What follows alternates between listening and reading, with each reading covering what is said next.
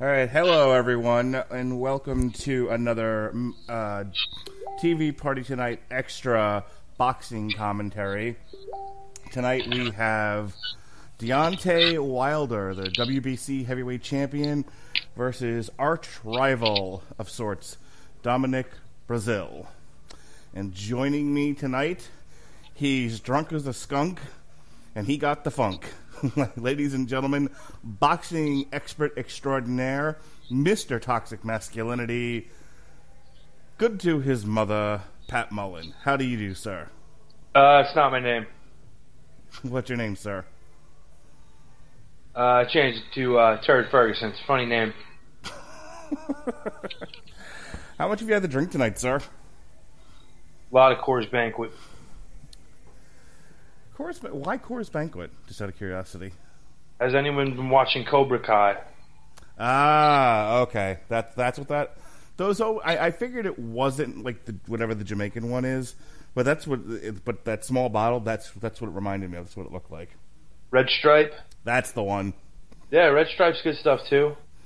I've had a red stripe or two in my time. Hey, so earlier on the undercard tonight, we had Gary Russell Jr. literally dress his entourage as spear chuckers, and now we've got Beyonce Wilder uh, with guys in gas masks who look emaciated, making fun of the Holocaust. Mark, how do you feel about that? Uh, I, I prefer to look at him as more Ming the Merciless. This is kind of the Undertaker uh, during his devil worshipping phase, when he was the cult leader. That's kind of what this reminds me of. I think he looks like Chris Bosh. you know, the more I think about it, the more I enjoy the Deontay Wilder fights because they're awful, and I like awful things. But the more I think about it, the more I'm with you that this guy is a fraud until he fights Anthony Joshua. If after the Anthony Joshua fight on June 1st, these two don't lock horns, I don't know. I might have to start tweeting Deontay Wilder, quit running, bitch. Yeah, his name is uh, Beyonce Wilder. Beyonce Wilder, okay. And uh, I'd like to thank Shannon the Cannon Briggs for uh, coining that one. So let's talk Turkey as best we can. I I, I know that given uh, given the fight and your current state of mind, you know it's kind of a hmm hmm well hmm hmm. But let let's I see. honestly what, don't know what you mean by my current state of mind, but that's fine. let's see what we can do as far as uh, a, analysis. Uh, how do you like how do you like your Dominic Breazeale? Sunny side up. What do you think uh, going into this fight? So I've seen very limited Dominic Breazeale. Um, the mainly the one fight I can tell you I did see him in was against Anthony Joshua, and he was stopped in the seventh round of that fight. Um, and he has gone on to say he doesn't feel he fought his best fight in that one, which I, I wouldn't disagree with. I saw him fight Amir Mansour, who was this knockout artist, and he beat him up fairly well. But he doesn't have a lot of names on his uh, uh, his record there that ones would recognize. You know, uh, decision over Nagy Aguilera, who's a journeyman. Uh, knockout over Billy Zumbrun, who I think some people have seen fight on FS1 cards. But there's nobody else on there that would really give you an indication of his real talent level. Uh, you know, 18, you know, 18 knockouts and 20 wins. Joshua stands as his only defeat. Uh, as an amateur, he went to the London Olympic Games, but didn't medal. He got beat in the first round. Uh, we'll see. His plan tonight, according to what he said to his Showtime interviewers, was that he uh, feels that uh, he needs to back Wilder up and work the body a lot. Uh, I don't know that that's the right move, but we'll see. Well, Deontay Wilder, one thing positive you can say about him is he's got some pretty crazy reach. He didn't really use that to his advantage in the Tyson Fury fight, but then again, you know, as you put it at the time, Tyson Fury is such a herky jerky, unpredictable style. Uh, I don't know how much. Uh, I don't know how much better use he could have made of his reach. Uh, going into this one, do you see that being a factor? Sure, because if you don't want to get hit with his best shot, you either have to be outside of his reach or inside that reach just enough where he can't club you with his right hand, which is really his weapon. uh, of choice. For Breazeale, though, I think if he really wants to have success, because he claimed he saw that during the Fury fight, what he needs to do is he needs to get Wilder to set to throw that right hand, and as soon as Wilder sets, just move away from him, and then pop him and move, pop him and move, because Wilder can't deal with that. Wilder doesn't know what to do if you don't stand still for him to throw his right hand. What do you make of Wilder when he does that clubbing uh, that he does, where he doesn't necessarily throw a punch? He almost he he does like almost like a palm strike. Yeah, it's technically illegal to do that, so he's gotten away with it. He they don't want to say anything. He does it a lot. Like I was watching some of the highlights, and I I understand to you know maybe to the untrained eye, to the average uh, viewer, these just look like he's killing guys. He's just knocking bitches out left and right. Boom, boom, boom. Uh, he's dropping bombs. But I, I watched it closely, and I'm like, yeah, you're not punching. You're clubbing with the palm of your fist, palm of your hand. Right, where there is no padding on the glove. Mm-hmm. So essentially, this is uh, another Canelo situation where they're just letting him get away with murder because Showtime is pretty much trying to continue to build their their boxing off of him. Because for some reason they think that having an American heavyweight champion is better than having not an American heavyweight champion. But let's just go this route. Has he gotten more mainstream media coverage than Lennox Lewis did? Uh, I don't know. Has he? No, he hasn't. Occasionally he'll pop up on a blip on Showtime, or excuse me, not Showtime, CBS, who is the parent uh, network of Showtime. Um, very rarely do you see him pop up on ESPN, which uh, he uh, Lennox Lewis was on routinely. I think Lennox Lewis is more well-known household name. So Well, I, again, I think the idea is for years now they've been searching for that next Mike Tyson, that next crossover heavyweight boxing star, and they think they've got it in this guy. I mean, he certainly has some pizzazz, as uh, Well- Jim Norton would say. You ever you ever listen to Mike Tyson speak? You know what uh, the obvious part of his voice. is. Right. He has that odd pitched tenor to his voice that this bruising mountain of muscle of a man way back has this high pitched, you know, sensitive voice. You ever listen to Deontay Wilder talk? Deontay Deontay Wilder talks like he's part of the, like he was part of the Wu Tang Clan. Tyson could actually be articulate and use big words correctly. Deontay Wilder gets mushmouth status if he has to use a word. Yeah, look, three syllable words are not his friend. Uh, we just Two lost. syllable words are barely his friend. That, of course, is the dulcet tones of the Howard Lederman of this three-man booth, and not just because Well, Mark, and not just because he's dead inside. Get it? Because Howard Lederman just died. Get it? Only I'm only mostly dead inside. Come on. Uh, thank you, thank you, um, Billy William, Billy shit. Crystal. Thank you, thank you, Billy Crystal. All right, we are ready to start this fight here. We want to wa- welcome Robert Winfree uh, to the booth, and we are underway. Rob, as this as this fight gets started, we've heard Pat's analysis. Uh, I know you're not a huge fan of Deontay Wilder. I'm actually surprised you joined us It's tonight. Beyonce, Mark. Beyonce Wilder. Beyonce Wilder. Sorry, I'll get it right one of these days. Uh, give me give me your 50 words or less on this fight, sir. I mean, it's a Deontay Wilder fight. It's a clown fiesta. You watch the you watch his fights for the comic value, not for the fight value. I was just saying to Pat, I, and I and I just noticed it tonight, even though I've watched a number of his fights, that he actually like clubs with the with the palm of his. Uh, his You're his just hand. now realizing this. I've never watched it that closely. God, he's fucking terrible. His punching for a guy who's been around boxing as long as he has, he relies on nothing but power. His technique is awful. Yeah, He's no, it had really 40 is. Fights and he fucking lunges in with his hands down for a body shot. He's the fucking worst. So I watched this, and I watched my son mess with his speed bag, and I'm like, all right, you know what? At at, at best, he's as good as Deontay Wilder at this point. he can only get better. Yeah, I mean, I mean, if he doesn't, if he doesn't train any more a day in his life, he's at least as good as the heavyweight as the WBC Oh look, heavyweight champion. Deontay Wilder got hit when he was trying to hit somebody. What a shot! He landed one. He landed one palm strike, and uh, or shote, and he backed up Breazeale, who tucked his chin, winged the nonsensical right hand, then it landed right on Wilder's chin and backed him off.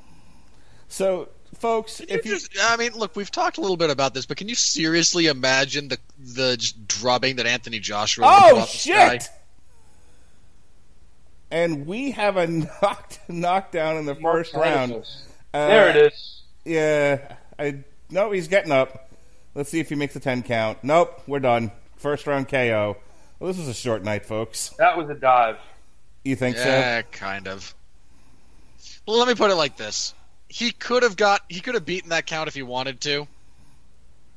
Uh, I think he just like, all right, I'll take the payday, and I'll take the extra money in the, I'll take the extra cash in the back for not making Deontay Wilder look like more of a fool than Deontay Wilder makes himself look like. So let me so so let me so bad. let me ask you a direct question here. Going into the fight, do you think he he was go- going in taking a dive, or what? Once he got knocked down, it was more like, well, since I'm already on the canvas, let me just make this a short night.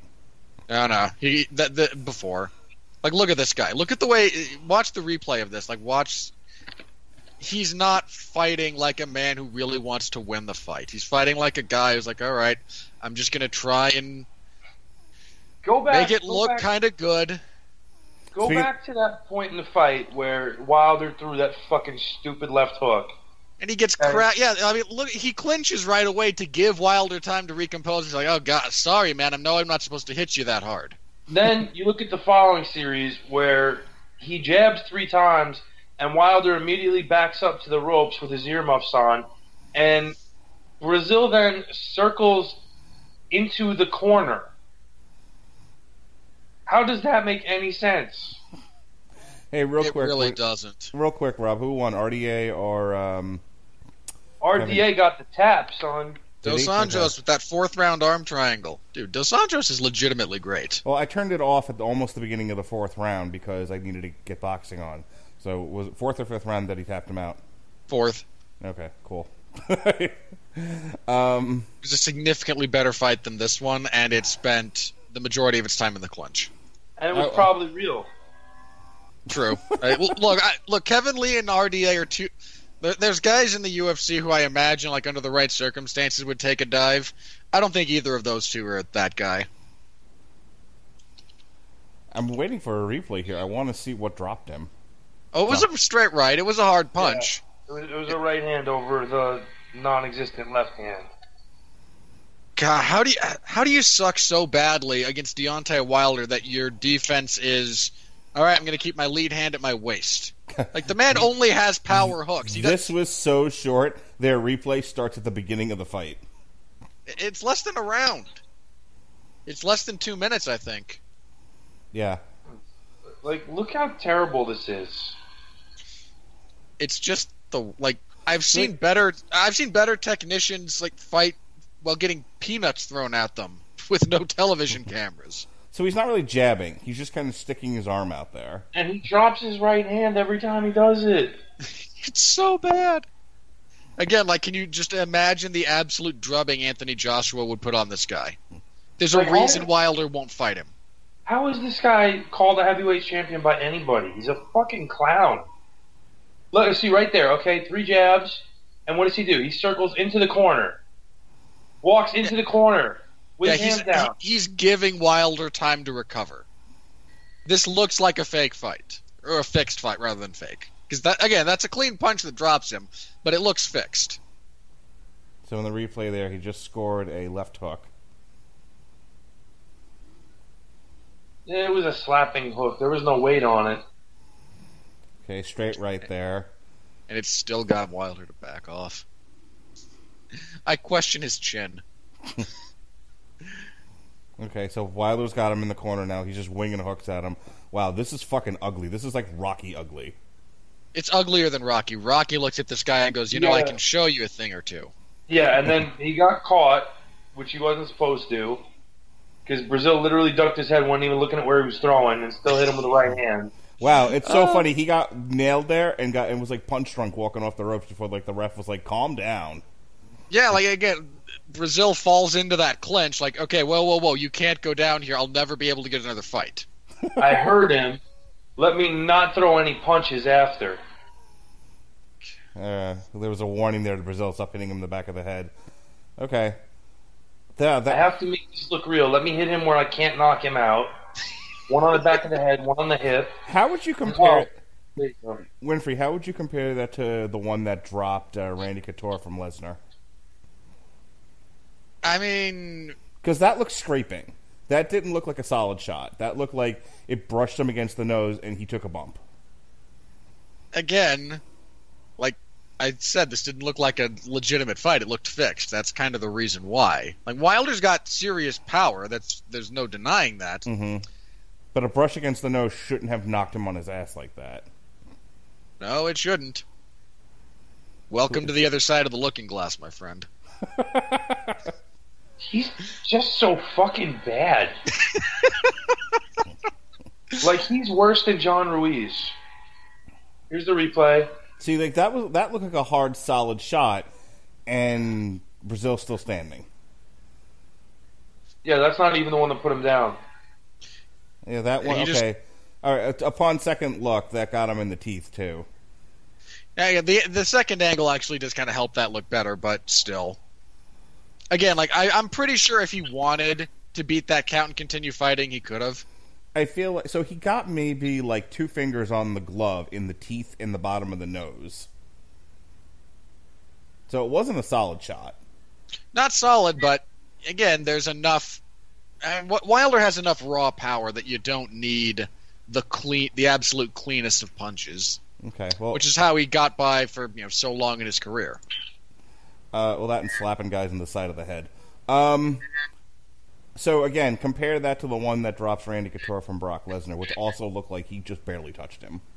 That also glanced. I mean, look, Couture's chin was shot years before he fought Lesnar. Mhm. and Lesnar punched him in the temple. I mean, again, the punch from Lesnar was less a knockout blow and, mo- and more just took his balance.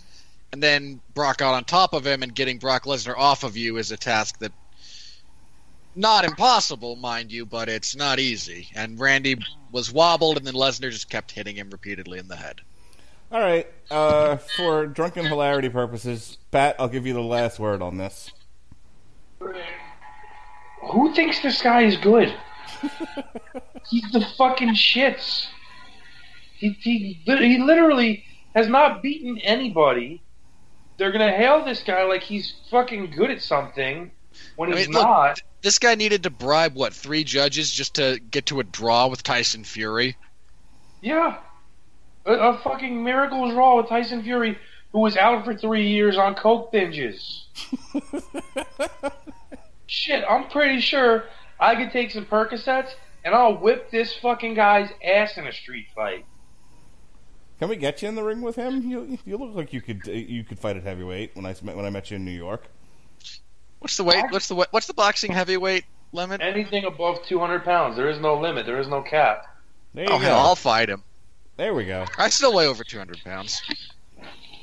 I think both of you guys could take this guy. And You know what I do? I not let him get set and throw a right hand. You, actually, what I thought you were going to say is, you know what I do? I wouldn't take the bribe. No, I would take the bribe money and I'd double cross all his people because he's not well connected. He's from Alabama. The fuck do I have to worry about? The Dixie Mob? You guys all got wiped out by one guy on Justified.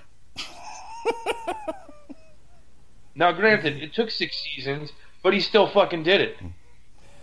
Uh, Showtime. Which did Showtime do the Canelo pay per view that we just watched? No, that was that ridiculous, No. awful service called The Zone. Oh, that's that doesn't right. actually freak that that doesn't even mic the ring. Like I went back and watched a different version of that fight with proper production values. And frankly it changed a little bit of my perspective on how the fight went because I could actually hear some of the impact that was being landed.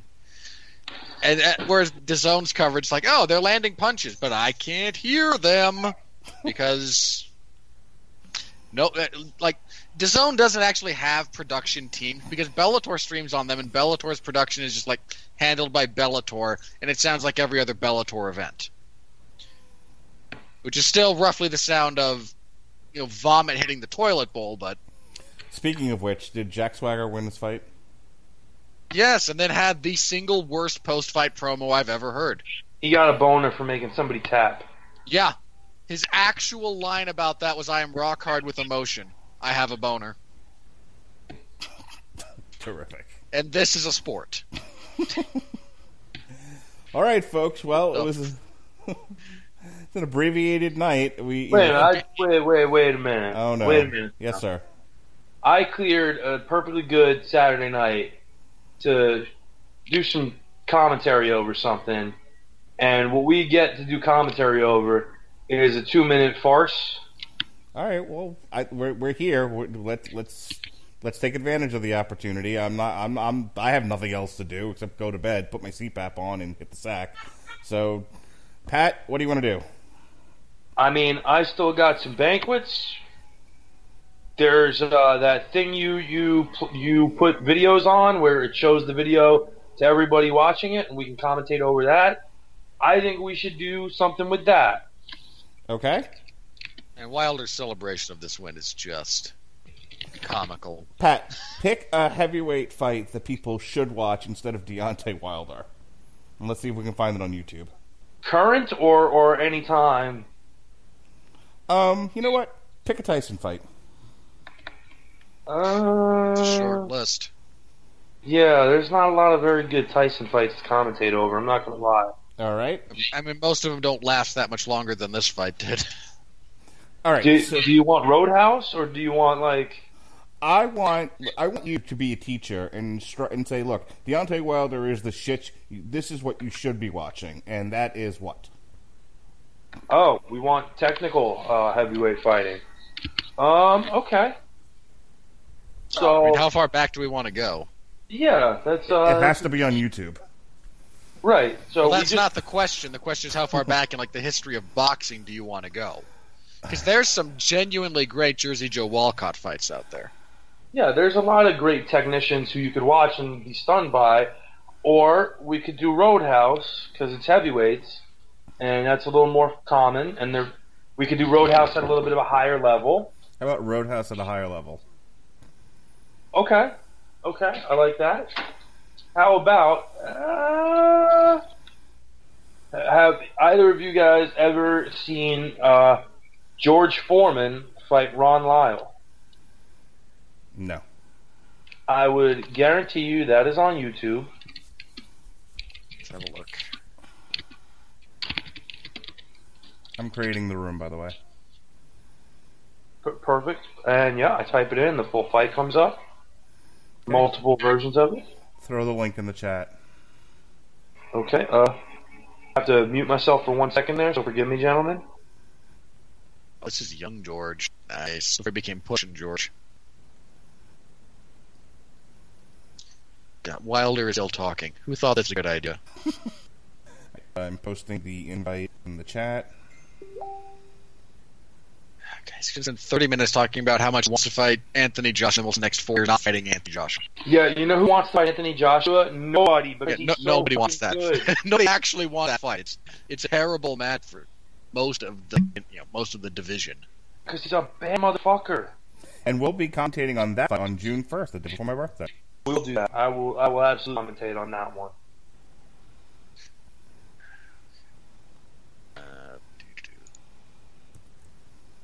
For those of you who don't know, there's some legendary heavyweight fights that have taken place, and this happens to be one of the, if not the most uh, famous heavyweight slugfest of all time. You have George Foreman coming off his loss to Muhammad Ali in Zaire, Africa, for the World Heavyweight Championship, who had been inactive other than a exhibition in Toronto where he had fights with five men in one night. And here you have Ron Lyle, who is coming off of an unsuccessful challenge of the heavyweight championship, but is still one of the top contenders in the world, uh, and a stylist very much like George, he is about power punching. He is about hurting bombs. He is about looking to fight somebody. And of course, Wilder will not be fighting Anthony Joshua next. He will be fighting a uh, rematch with Louis King Kong Ortiz. It looks like so. Joshua continues to be better than everybody, and Wilder is a pussy. Okay, well said. All right, so uh, this is from January twenty fourth, nineteen seventy six. Uh, about six months before I was uh, five, a little over five months before I was born. Um, this is on ABC. So we've got it's a 25 minute video here, and this is what we're gonna. What can we look forward to here, Mr. Mullin? Roadhouse. All right. No, this is uh, this is like this is one of the must see fights before you die. Okay. Winfree, you know anything about this one? Not a thing. I'm looking forward to it. All right. Well, if we're all in the, are we all in the room? I'm there. All right, Winfree, you're I here. am not. Where is the link? It's in the uh, the group chat. Oh, there it is. Sorry, my mistake. I will click on that. All right. There you are. All right, put your kittens on your mittens, and away we go. Unless I'm aware I got that backwards. And we saw just saw two of the most notorious hairstyles of all time: Howard Cosell's toupee and one uh, Don King standing behind him. So you said this. If I if I heard you correctly, you said this is after the uh, rematch between Ali and uh, George Foreman. Is that correct? Well, the the one and only match between Ali and Foreman. Yes, Okay. Ali didn't want any more of that. this is George's uh, first fight, official fight after that, other than the exhibition he held in Toronto. Okay. I think I'm confusing uh, the rope dope thing and Ali and uh, sorry Frazier and George Foreman. Yes, they would have a second fight uh, a few months after this at the uh, Long and uh, the Nassau Coliseum. Oh wow. It's hard. It's hard to imagine the Nassau Coliseum having anything but wrestling or ice capades of the circus. It was not a popular boxing venue. There was only two fights I remember there. That one and the second fight between uh, Roberto Duran and my old trainer Edwin Viruet. I mean, the Nassau Coliseum wasn't a great venue, period. No, I it's know. still not. I don't know what they've done to it. Uh, They haven't demolished it and put something better there. no. Um, I mean, it was a place to go see shows, but it was nothing special. So one of the funny things is that these two guys at this point in time were considered super heavyweights. Uh, the average heavyweight weighed about 210, 215 during this era. Lyle weighs in about 220. Foreman probably somewhere in the neighborhood right there of 230, 235, which, of course, knowing his later career, is very svelte for him. Yeah. Is it me or does Caesar's Palace look like a pile of shit? Caesar's Palace is technically the outdoor Caesar's Palace, not what it would come to be known as. And Yeah. yes, it did originate as a pile of shit because up until the mid '90s, it was basically a, a an arena built in a parking lot. Yeah, th- this is not again this period in time. Uh, they didn't have a great. They didn't like really actually have a venue. Uh, it would take like three more casinos being demolished, and then other things rebuilt in the, in various places over the next like ten years before it became a decent venue. Because the only thing I can compare this to that looks this awkward and this shitty for this level and uh, of a sports entertainment uh, match is WrestleMania four.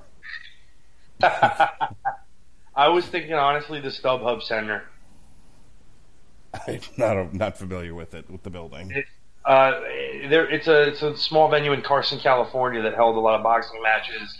Uh, Probably about ten years ago, mostly for HBO.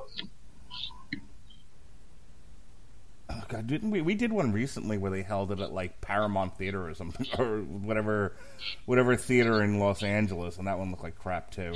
Yeah, Club Nokia or whatever it was. Yeah, yeah. and we get a good little stare down. And we are ready and raring to go. Once again, this is George Foreman versus Ron Lyle, 1976 heavyweight match at Caesar's Palace. George, of course, is the former heavyweight champion of the world. His only loss at this point to Muhammad Ali. Lyle has been in with pretty much most of the top contenders at the time. Guys like Jerry Quarry. Wow. Oh, Jesus wild right. Christ. There's your Deontay Wilder precursor. Even that was a better punch. I was going to say, shades of Roman Reigns. he was going for a Superman punch. To the body. Yes. Also, screw Roman Reigns. Fair enough. Um, apparently, his uh, his cancer baby face pop has finally worn off. Lasted about three weeks longer than I thought it would. Indeed. All right, so we actually see some boxing here, some jabbing and feeling each other out. We're uh, not quite into the roadhouse portion of this fight just yet. No, and Lyle trying to double and triple the jab against Big George, who has arguably one of the three best heavyweight jabs of all time, especially at this point in his career. And Lyle pops Yeah. one off on him. Yeah, this is. oh, Foreman's such an interesting case study to go back and rewatch because he's also a great example of just the efficacy of shoving. Like, not even punching, just pushing your opponent. We see the Uh, first clinch of the fight. I mean, Ali complained about that after their fight that George pushed him a lot. And I mean, pushing's a great technique. It's uh, it's illegal in boxing, and George wouldn't get away with it if he were boxing today. But a lot of his success comes from just okay, you want to come in? No, I'm going to push you over here and then club you in the face. Well, he wouldn't get away with it if they if no one was trying to back him for their network or their app. It's true. Fair enough. And Oh. there's a good little swipe that knocked Lyle off balance. That long left hand to George. How long was George's reach? Because good grief, that man has arms. I think I Lyle, want to say George. I want to say George had an 82 inch reach. I think Lyle just tried to punch him in the dick. Like he Probably. went really low. Either that, or he's or the, either that, or he's deliberately going for the hips to try and slow down George's feet. You got big men with big bodies and a blind side for the referee. Why not?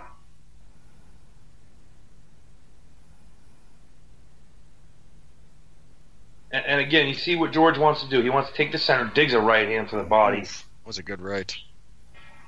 He wants to keep the center. I feel like George is dropping his hands a lot. Like he's keeping him down by by he was keeping him down by his waist. Well, if you look at George, he does keep him down by his waist, but most of the time his hands are extended. And Mm. it's almost a cheat because you're not supposed to leave extended hands out there to help you close distance or judge distance faster. And Lyle got him a Right, good right hand behind the ear. George is hurt. Oh my goodness, Lyle with a big right. Yeah. Now Foreman working the uppercuts in close. He's trying to tie him up now. Try, uh, he took a couple of good shots there. Yeah. Lyle Lyle was swinging for the fences. Ooh, right George to the kidney. George is still hurt. He took that left hook clean to the chin. Yeah, he. I don't want to say completely saved by the bell, but he was happy to get out of that round. Yeah, Lyle was trying to take his lungs from him and everything else in his body cavity, for that matter. You see Gil Clancy, the new head trainer of George Foreman after the Ali fight, trying to get the smelling salts into George and wake him up. Short right that was hand, a right great over. short right hand.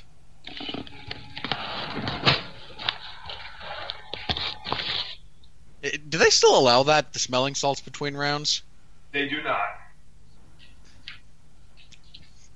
I mean, they do. uh, They use. They allow it for. Uh, I know, like strongman competitions, but and weightlifters always like snort up a bit of that stuff before they go lift a significant, an, an unholy amount of weight. But Yeah, you're allowed to pop ammonia caps now. I was deathly afraid this was going to be a one camera shoot. Um, thankfully, this is this is this is at least looking like three sh- like three cameras. are they Oh, doing the is- this is cover? ABC. Are they doing the cover George Foreman with towels in between rounds thing? They are because it is a little bit chillier in Las Vegas than they anticipated in January. Yeah, Vegas. Vegas gets real hot in certain times of years, but it, I mean, deserts are about precipitation, not temperature. Yeah, it And was George- freezing. It was freezing when we drove through New Mexico. Go ahead, Pat. We're just working his left hand a lot more this round to try to keep Lyle away, but he's already taken two good short right hands again. Yeah, his that defensive posture he adapted through a lot of the first round is just not playing out against that overhand. He needs to get more get that lead hand a little bit higher. That In straight addition right, just keeping it busy. That, that straight right, did it land? Did it graze? I wasn't quite sure if it had if it uh, made impact or not. It touched him, but at the end of it, so it wasn't full impact.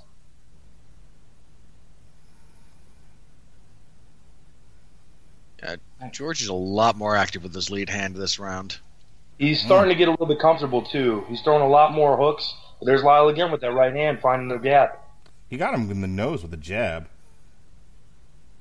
Oof. Oh, now we're That- Lyle that- he got a little bit. He, he got a little bit wobbled by that right. Lyle put one on his Before chin. Oh, now, Oh my Lyle gets- god! Yeah, Foreman's Now trying we to take get his face classic off. Foreman. Ah, Go to the body, George. If all you do is headhunt, you're gonna punch yourself out a little bit. There's that classic awkward Foreman right hand to the body. And you can see he's almost afraid to pull the trigger here along the ropes after his fight with Ali. After all, he uh, just tired him out so consistently with that. Oh, Oh. it's Fed George up finding some open looks. So Pat, But tell me, there's- if Lyle's not on the not in the corner like that, does he go down after that flurry? Probably. There's a very good chance, considering who's hitting him and how much he's hitting him. George is one of the hardest punchers in boxing history. Jesus, look at those two. Th- Look, th- Listen, This you- is the Ron last of- Lyle- I'm not going to underscore Ron Lyle's toughness. Ron Lyle got knifed in the joint 19 times and survived. Oof. Look, th- this is like the last era of boxing when men were men. You know, they like would chew gravel and guzzle gasoline. And I, bl- frankly, I blame Oscar De La Hoya for that era of fighter going away after he paid off the judges to screw him and to screw Marvin Hagler. You mean Ray Leonard? Ray Leonard, my mistake. You're, yeah, Ray Leonard, not yeah, not De La Hoya. I don't like De La Hoya either, but different reasons. God damn Yeah, it, Winfree. Go ahead. So, Tell me So I'm we- wrong. All right, look, I got the name wrong, but am I wrong in principle? no. So, what we're seeing here is a shift in momentum. Now, George has kind of found the range, but I think it's interesting that post Ali, he's not opening up along the ropes on Lyle the way he would have normally. Two things. One, Lyle is not as defensively adept as Ali. And two, the ropes here are not the loose ropes that Ali asked for in Zaire, where he could lean all the way against them and take the sting off George's punches. Well, uh, Lyle also is very clearly not nearly as adept at fighting in the clinch as Ali was. I mean, that was the entire key to Ali's career renaissance. Was after he lost some of the speed, he really did master how to use the clinch properly in boxing. No, and you can see George is really the- making some awkward movements. There's So the pushing from So I don't know if this is an edit or if this is how ABC did it back in the day, but there have been no commercial breaks during this. Well, it depends on when it aired on the block, but a lot of times ABC would go straight through on a certain fight. Like they're live right now, so they only have time for one minute commercial spots. Yeah, but if this were today, they'd be doing one minute commercial spots. Uh, this At isn't points. today. It's also broadcast TV, so you know they had an undercard that they could get most of that stuff in on. Oh, Foreman just short on the right hand, but Lyle gets a good counter in, and George, like Robert said, push off. Nice body shots from George. Lyle really sagged into the ropes there. And Lyle's almost trying to bait George in for that overhand right. He's leaning, leaning, looking for the opening. Yeah, it's kind of sticking his chin out there. And he might also be playing a little bit of head games. Like he's recognized that George is a lot more hesitant about the ropes and is daring him to really open up in this position that he's clearly not all that comfortable with. And you could see Lyle sticking an extended left hand out there. Figures if George can get away with it, so can I. That's one of the things. If you're, there's a good right hand by Lyle. that was a good right. Nice jab. And Foreman there. immediately goes back to just jabbing. Like, all right, Well, notice he's also been hit with quite a few of Lyle's jabs. I mean, he really flicks those off, and you know, and uh, tags him right in the nose. Yeah, the, the issue is that Foreman's jab is more consistent. Like they'll they'll spear on jabs occasionally, but Lyle's jabs are about what one out of every eight to ten punches he throws, whereas with George it's one out of every like three or four. Mm. and and George's jab is a power punch. Make no mistake. Yeah, he he's putting weight behind that thing. He's not just flicking. And now he's putting a combination together. He's just short on the left hook, but he's got Lyle in the corner. He hasn't taken full advantage of it. That was a weird looking overhand there. From Well, Lyle's some and of Lyle's a good short right.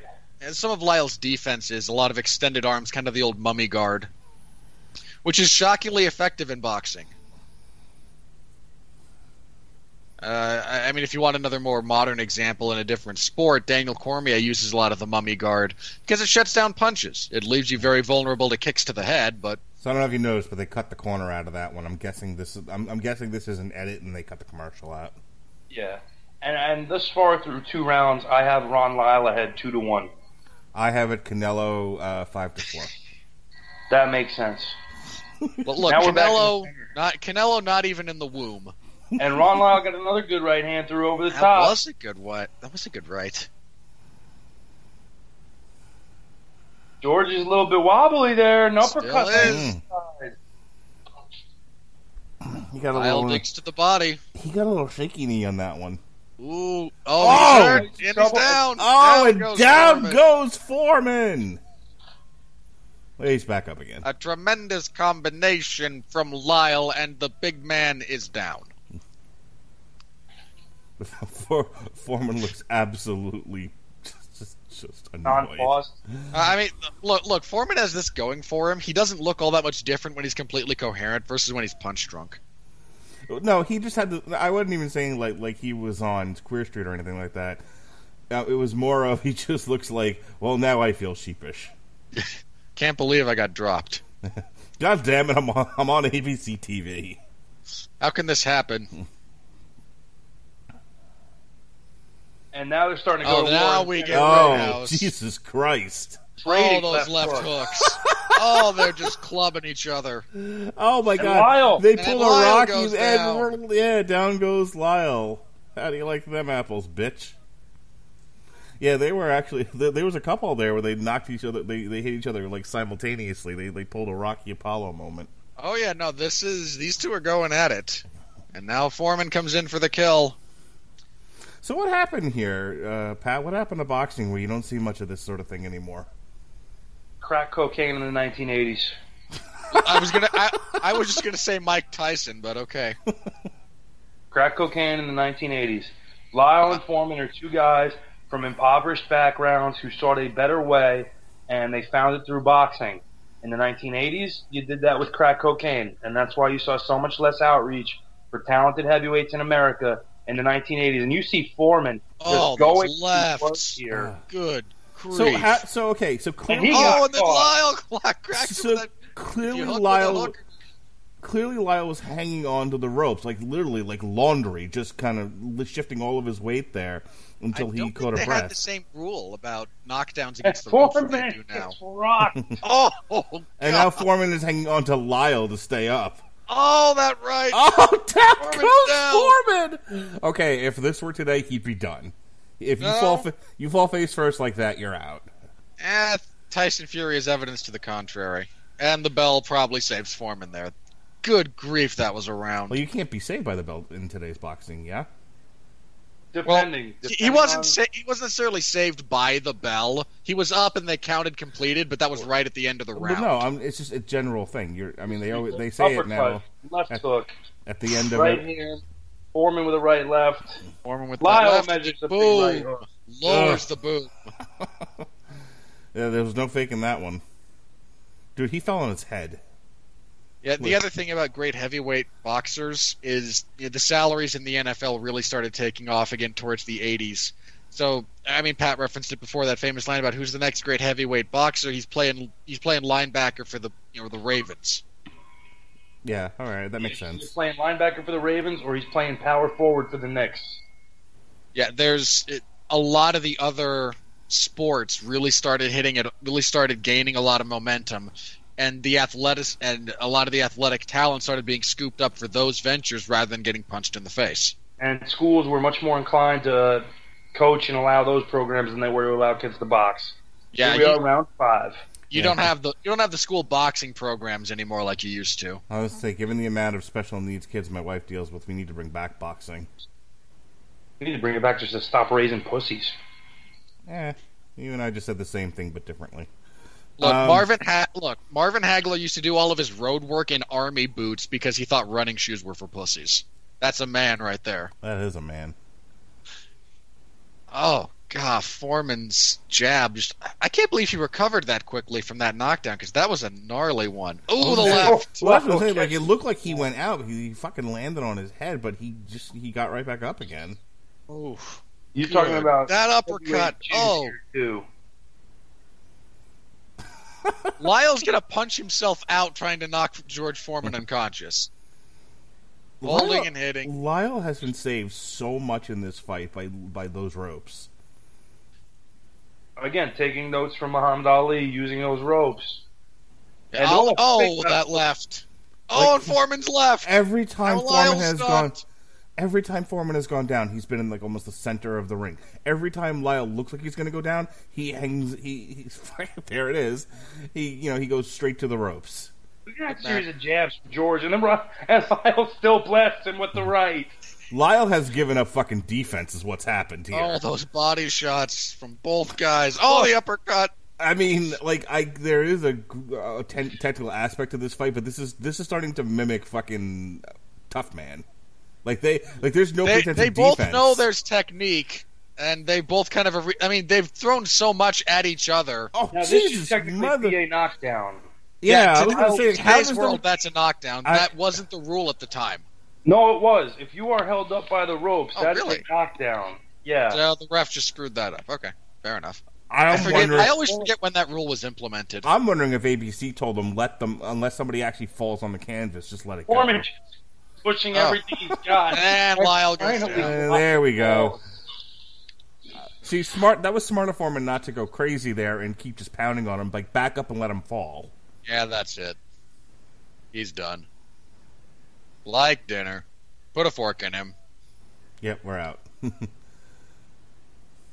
wow, that was a good one, Pat. It's a really It- nice choice. It is a top five on the list of heavyweight fights you must see. And now I have seen it. Outstanding. Yeah, that was that would be uh, George's uh, second to last win before his first retirement. You can just see on some of those punches Geor the names for George's future children stop being something loosely creative and just being George, George, George.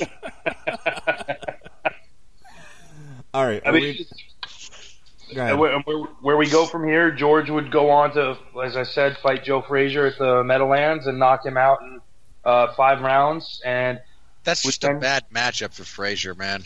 it's But it's just- just baddest match stylistically. And uh, then he would go on to lose an upset decision in Puerto Rico, controversially, to Jimmy Young. Oh, he's and that he is where- he's lucky he just didn't get stabbed. Yeah, yeah, well, that's true too. Although he's not going after the promotion there, so. Uh, but no, he uh, he would lose a controversial upset decision to Jimmy Young and have a vision of God and become a preacher, and then years later he went from this menacing villain of a heavyweight to everybody's grandpa who they wanted to see fight and win and not get hurt. And Lyle Lyle would get a shot at Muhammad Ali later in the year and lose very much in the same way Foreman did by rope a dope in the 11th round knockout and not really contend seriously after that. He would have a fight with Jerry Cooney later on, and Cooney's ascent to a title shot, but never really mounted a serious uh, title run again. This is one of those fights that just like takes a significant portion of who you are as a person, and you leave it in the canvas as you exit that as you exit the ring. So the moral of this story is don't don't look at Deontay Wilder as a competent uh, heavyweight championship boxer. Look to your elders. Look to George Foreman. Just look to Joshua, man. Like, not that we, we, we don't have to go back in time, man. Look, look at Anthony Joshua versus Klitschko. That's a great fight. Okay. Uh, Pat, do you want to do another one of these, or are you satisfied and we can do uh, plugs? I can do as many of these as you guys want to do if you're up for it. I got I got tons of these. You know what? See if let, let me see if Anthony Joshua versus Klitschko's on here. Since I've never seen it. Really?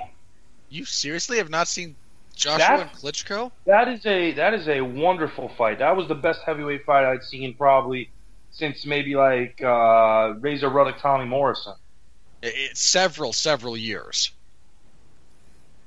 Huh? I actually don't know how I missed this one. Oh, it was on Sky Sports. That's why. because you didn't Uh, you know what? Because you are a fine, upstanding person of moral integrity who would not steal it. Nope. No, Joshua doesn't really fight on like U.S. pay per view. He's a massive star in the UK, and ver- and almost no one in the states knows who he is. It's a crying shame. All right, so here we go. the word dumb. This is April. Can we just retire Michael Buffer already? Jeez. this No, come on. He's the buff. This is Well, April- look, I respect him. I respect the history. I respect the fact that he got into popular culture. He's a real. He's really good at his job. I mean, I'm not knocking that. My question is more: How have we not found someone better by this point? This is April 29th, 2017. So this is fairly recent. Uh, Anthony Joshua versus Vladimir Klitschko. Uh, this fight, correct me if I'm wrong, but this was for the belt that Tyson Fury basically vacated after he had his breakdown. I, I don't think so. I think uh, that there were, if I'm not mistaken, I think this is for uh, two belts that Fury was uh, stripped of for refusing to fight Joshua, and both of those sanctioning bodies had both Klitschko and Joshua as the top two rated contenders. Fair enough. I, I could be wrong, but I believe that's the scenario. So is this London or is this uh, is this somewhere in England or is this Germany? Uh, I want to say this is at Wembley, but I again could be wrong. I will look that up.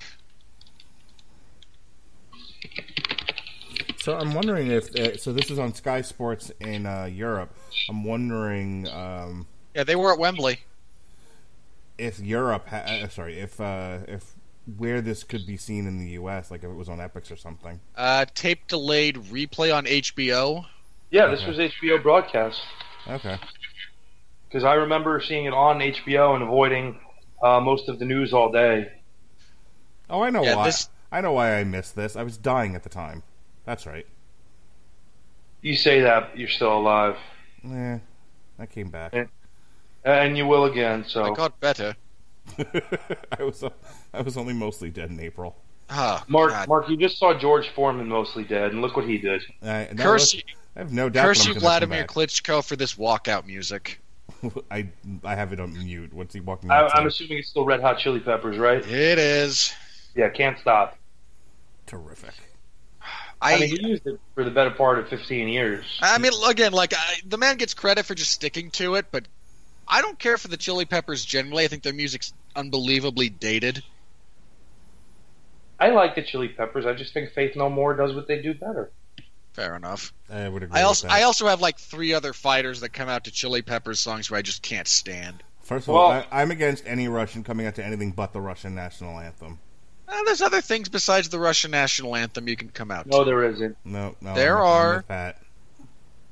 Well, no, okay. First of all, you don't mean the Russian national anthem. You guys mean the old Soviet national Yes. anthem. Yes, correct.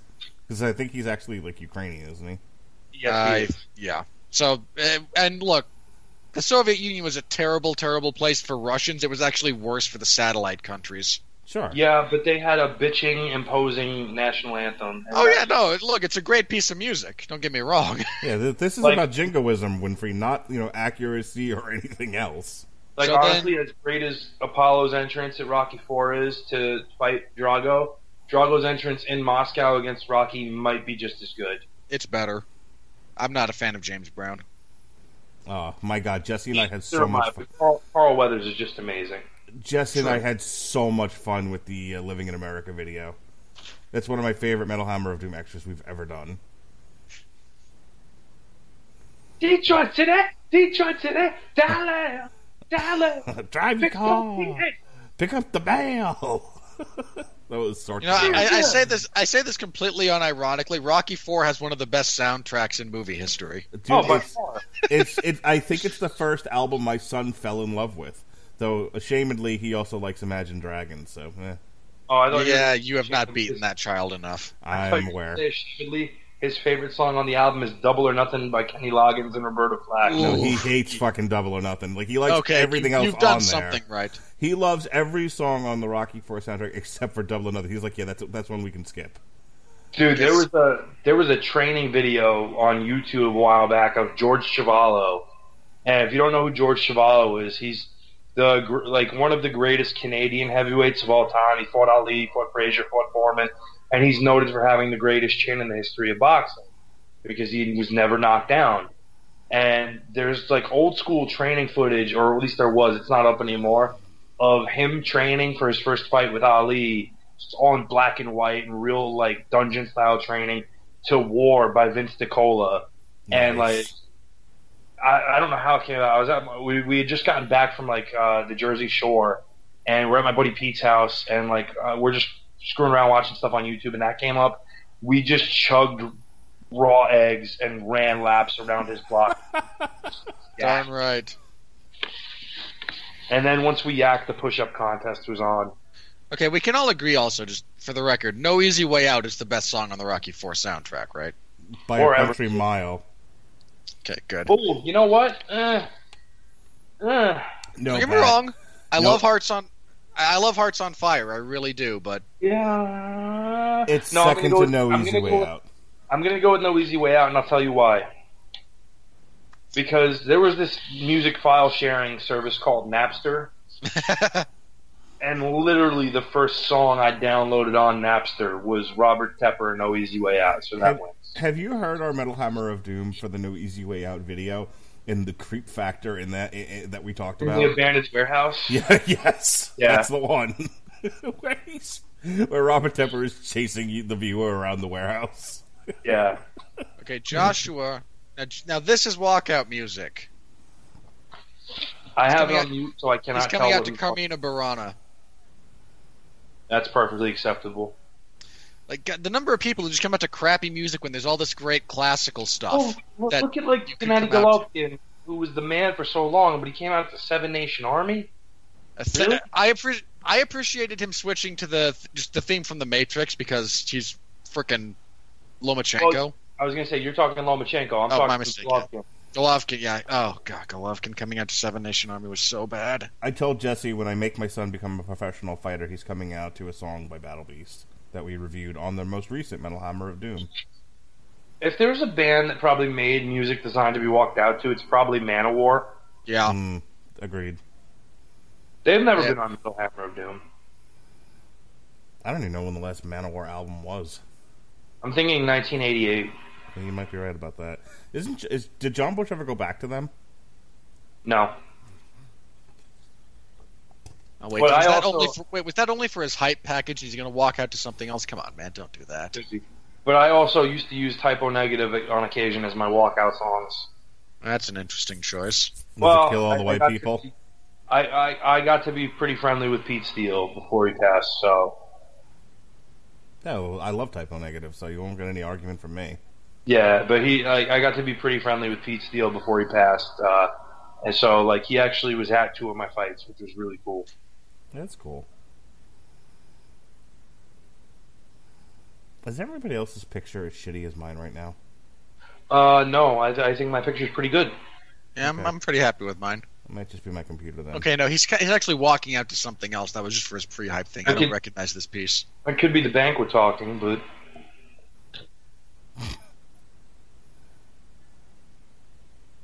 guys, it takes, a, co- it takes uh, a confident man to wear white trunks, white shoes, white gloves, in a white robe on your walk to the ring. Does Anthony Joshua have a better body than I do? Anthony Joshua has a better body than like 87.5% of the entire world. Uh, yeah, I don't know if I'm part of that 87 percent. I mean, it might have been the jacket you were wearing, but you look like a you, you look like a lineman in football, Pat. When I met you, Yeah, I'm very broad-shouldered. I do think the the baby blue Hennig jacket brought that out a little bit, but like I said, I wasn't. I, I, I it's hard to tell. And then the next time I saw you, we were sitting. So, uh, you know, and I'm and I don't know if you are going to accept this or not, but I wasn't really checking out your body the whole time we hung out together. I mean, we Oh. both know that's a lie, but I'll let it slide. Yeah, Mark, come on, man. Why, why are you from? Okay, well, when I wasn't looking for John, who kept ditching us, I was checking out your body. You're right. Yeah, John was looking for a place to nap. so I see I see the white gloves and everything, and all I can think of is the great white hype. Sage- Terry, look what I've got you. I was going to say White Sage gloves. Northcutt. No, I mean God, that actual poor guy. Ugh. There was a Yeah, rumor that he was going to play Drago's son in Creed 2. He'd have been better off than continuing his, his MMA career. Well, I mean, he signed with one, and one's first thing is okay. Here's this world champion kickboxer who's a legitimate purple belt in Brazilian jiu-jitsu. yeah, we're gonna give you a problem. and the already, best I, I mean, had. Cosmo's Cosmo's record is like 18 and one or 18 and two in MMA. Like the man Yeah. can fight. and he's he's a legitimate great stand-up fighter in MMA terms. Yeah, So- I mean, he broke his face in like eight places with that punch. With that one right hand.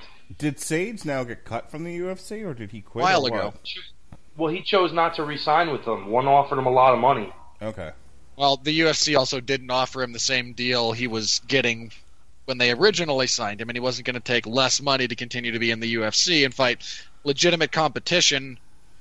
So instead, he took more money from one to fight a theoretically lower level of competition, and instead they and they like they put him in there against legitimately one of the better fighters they have, and one actually has a lot of good fighters you've just never heard of. Yeah, it's the lower weight guys that the UFC sucks at promoting. Yeah. Oh God, the guy that knocked out Eddie Alvarez. Yeah. Uh, Well, Also, like one's defen- weight cutting policy is so stupid. in defense of the UFC, I don't think there's a market for the, low, the lower weight guys here than there might be across the seas. I mean, the, the, I So think you're it's- saying it's exactly the same as boxing? Correct. That's a fair point. We I- I like mean, I we like there's our a- monster men here. We're not into I- I we're, we're not into the the- midgets. The worst thing about HBO pulling the plug on their boxing is over the past six months of their last boxing broadcast, they put on some great junior flyweight, flyweight, junior bantamweight fights with legitimate world class competition. And those were great. Oh, they were great. And here we got the tale of the tape. We're, we're finally here, folks. Jesus Christ, Anthony Joshua is a scary looking motherfucker. He's a large man. You, you know what's funny is he's still scary standing next to Vlad. Yeah, and Vlad's not exactly a cuddly human being. No, he's very. You know, and again, I know that a lot of people are going to put Vlad over as the superior Klitschko because of his longer career. Vitali was so good. Oh, he God. was so good. Well, Vitali was also the a much bigger puncher than Vladimir. yeah, He was, and he, and he took it better. That's the big difference. I was so I would say um, 15, 2015, 16, maybe even earlier. I was watching a lot of boxing, and I actually did notice that at the time that his brother, but uh, that Vitali's fights were m- much more fun to watch for me than than uh, Vladimir's. I, I think look, I, I think Vlad just because of his previous lack of success in certain instances was more inclined to fight uh, a very disciplined, uh, safety first fight. Whereas Vitali, a lot of times, he just knew he was that good. He didn't have to keep his hands up and back away and move. Like when he fought Chris Arreola, he had his hands at his waist in the center of the ring, daring Arreola to come at him and lighting him up with combinations. uh, Vladimir also would do these really stupid things. Like, wasn't there one fight that he won literally without throwing a, his right hand at all? Yeah, he tore his rotator cuff. And just like, okay, only the left. Oh, Yep. And I mean, it, go ahead. I mean, and credit to the guy for being that tough. Torn rotator cuffs really suck. Yeah, Vitali. That's how Vitali got one of his only two losses. He tore his rotator cuff against Chris Byrd and decided not to continue. And of course, he was labeled a quitter and he had no heart and whatever. And of course, what he was doing is trying to prolong his career. Yeah, I, I think I do not understand the ridiculous dude bro logic of I get. Uh, well, I'd be in there to fight. Like you're the same morons who say I'd play in the NFL for free. Yeah, because you're useless. Well, the average the- NFL, you, the average NFL player makes millions of dollars because they do something a select percentage of humanity can do. well, You there's, there's, jackasses who go, "I'd play for free." Sure, no one would watch. there's the distinction of though, like a guy like Vitali quitting in a fight he was well ahead in with a torn rotator cuff versus Victor Ortiz quitting when things got difficult for him. Oh, dude, Yeah. Victor Ortiz would quit when you know if you called him a name in the ring. Look, like I remember that first night where he lost to Maidana. Things started off well for him. He dropped Maidana, and then Maidana came back and was like, "I'm still here to fight." Knocked him down, and Victor Ortiz quit. There's Hey, Arnold, Arnie. You see the guy who tried to drop kick Arnold? and Arnold barely moved. God, that was so hilarious. Didn't Arnold- Victor Ortiz like almost like cry in the ring? His More his than post fight his post fight words were, "I don't think I deserve to get beat up like this." Right. And I was like, what? And I, I just started watching boxing at the time, and I'm like, who is this pussy? I was in Atlantic City that night, okay, and this is a true story. I was in Atlantic City that night, and Victor Ortiz had just left Top Rank and signed with Golden Boy for that fight. And That would explain why he felt he didn't deserve to get beat up like that. well, and Top Rank was running a show in Atlantic City that night with uh, oh god, what's his name? Yuriorkis Gamboa on the semifinal bout, and Juan Manuel Lopez on the final. And I happened to be at the bar at Bally's with two guys from Top Rank. We're talking, and I was there with two friends. We weren't at the fight; we were just gambling, having fun. And they were talking about, oh yeah, you know, Top Rank makes him, Golden Boy breaks him. I said, you guys were Top Rank. They go, yeah. I said, your guy Lopez sucks. I said, what are you talking about? I said, first of all, Gamboa would eat him alive, which I maintain had they fought, he would have. And second off, I said, your guy, your guy Lopez can't take it. And they were like, what are you talking about? You don't know what you're talking about. I said, yeah, Lopez ain't that good. And uh, he, his next fight, he fought a veteran, not a not a world beater or anything, but it's just a tough veteran named Rogers Mtagwa from Africa. Never a world champion, not a. This guy went life and death with Rogers, walked away with a very fortunate decision, and never lived up to the hype train that they were putting him to be.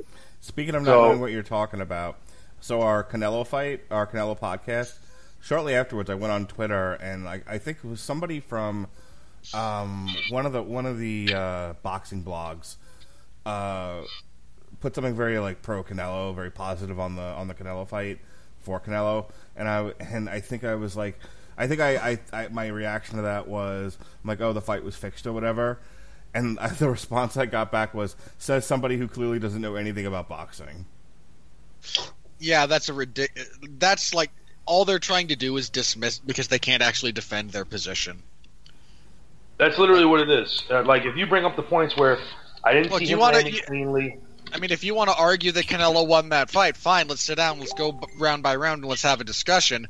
I say he didn't win, and your response is you clearly know nothing. Like, all right, you don't actually want to try and support your case with. You you don't want to actually support your point. No, and I'm not going to get into it with these guys. You know, like I, I just I don't. As you, as you called it, my Twitter feed is sort of a, is sort of a pile of trash. But um, I, I mean, just- Twitter's a giant pile of trash. You're not that different. um, I just I just don't feel the need to engage with a lot of these people. It's like you know, like you know, the people who were my friends or whatever, and you know, we might have like a minor disagreement or whatever. Like Sam Connie and I were talking about Game of Thrones, and it was like he said a thing, I said a thing, he said, I said, and we're like, okay, we're done with this. like, you know, it was nice and peaceful. Yeah, you should really only engage in tw- only engage with Twitter with people you actually know because otherwise you there's no point to it. Like I did that once. I went w- one time. I okay. I tweeted something and it I just got a st- like it got caught up in other stuff. And mm-hmm. then a bunch of other people had conversations because they were replying to other people who were replying to me. I got tagged and all that crap. And there was one of them that made just a stupid point, so I decided, all right, I'm going to be civil about this, but I'm going to respond. And this guy and I had like a three or four exchange, and we arrived at a conclusion that okay, turns out we're both reasonable people. Wow, we had like what we took away from that was, hey, this is our one positive interaction on Twitter for the entire year. Thank you. Yeah. but on the negative side, this is my last banquet. Aw. However, I will point out that obviously in the corner of Vladimir, you saw his brother Vitali. You also saw Johnathon Banks, former cruiserweight fighter and later heavyweight fighter, who took over for the late Emanuel Steward. And I will be the first to say I don't think Vladimir without Emanuel was capable of anywhere near what he was with him. Okay. Here, I found it. This was from actually FightNights.com. Um, across the board here at Fight Nights, we pick Canelo by decision. Safe pick. And I wrote, Jacobs really should have won. Hashtag fight, uh, fix was in, um, et cetera, et cetera. And his response was, said nobody who knows boxing. Yeah, sure. Yeah, I don't know shit about boxing. Look, So- if you want to, again, like if you want to put forth an argument that Canelo won, fair play. Like I, give- I give don't me a- agree, but like actually, i- if your argument is well, all the judges agreed, and I'm going along with the herd, that's not actually an argument. Right. No, if you tell me something where you know I felt that the punches landed looked visibly more more hurtful to Jacobs, blah blah blah. I felt like the punches that were landed by one guy were on the arms and shoulders versus clean connections on the other side. But whatever, I get it. But you're not doing that. You're just trying to belittle somebody without any actual evidence, which means you probably can't actually prove what you're doing. I mean, I, I, again, I don't mind disagreements, but you want to engage in a dialogue, fine. Let's engage in a dialogue. And if all you want to do is just no, this never happened, like all right, fine. And I think this is the only time in Vladimir Klitschko's career where he had back-to-back fights with guys he gave up height to. You know what uh, fight was pretty terrible of his? His fight against David Haye.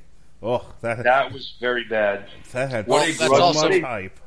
What a grudge match that was sold to be, and blah blah blah. And David Haye never went in on him. Vladimir kept him at the end of his jab, and David Haye wound up trying to blame it on a broken toe. Yeah. I think afterwards Dana White was like, I don't even know why I watched this. Well, Dana also had an event the same day, if I'm not mistaken, so he was trying to use that. to- Give or take, yeah. Yeah, it was Yeah. one of the pay per views. All right, here we go. Round one. Okay, Uh, you can watch actual. Uh, okay. Yeah, Vlad Klitschko's Klitschko's jab is so good. Vlad immediately center of the ring to try to dictate the land battle. And it's very important to a guy like Vlad to get center of the ring. But look at Joshua, not afraid. Gonna make his shots count. Huh. Carl Froch Nice is little- providing commentary on this fight. Nice little turn from Joshua there.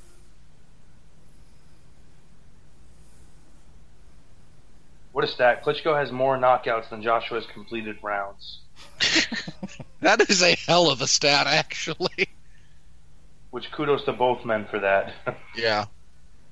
And again, you see Klitschko wanting to take the center, control the distance. He knows Joshua is the actual taller, longer fighter, so Vlad wants to dictate where this fight is taking place. It's a sound strategy. Yeah, there's a lot of battle with the lead hand going on from both guys. They're fighting for uh, punching lanes a little bit. Vlad immediately looked much better in this fight than he did against, uh, excuse me, Tyson Fury, where he was just puzzled, confused, and Banks didn't have any answers for him. Joshua obviously fights a much more orthodox style, so in, in that respect, it's almost a little easier to deal with because it's what you're used to. Yeah. The number of people who, especially very traditional fighters, just even if you're even if the unorthodoxy is kind of stupid, they just don't they just have no idea how to actually deal with it in real time. Is relatively high. So what I like Wow. about this is Klitschko's on his toes. He's he's using his footwork. He's bouncing around. You know, it's like I've watched so many fights lately, lately where the guy is just seems so flat-footed. They're both And up Vlad- on their toes.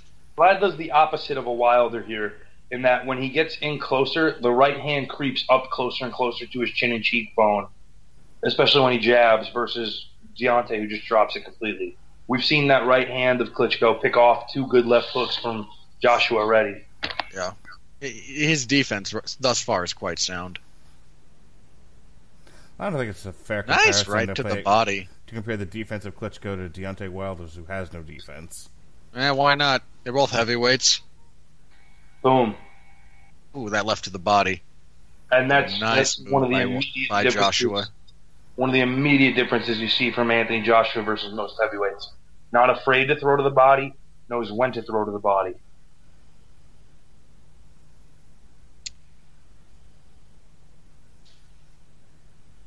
But again, Vlad, you know, he keeps his right hand up and he uses that left hand very similar to George Foreman.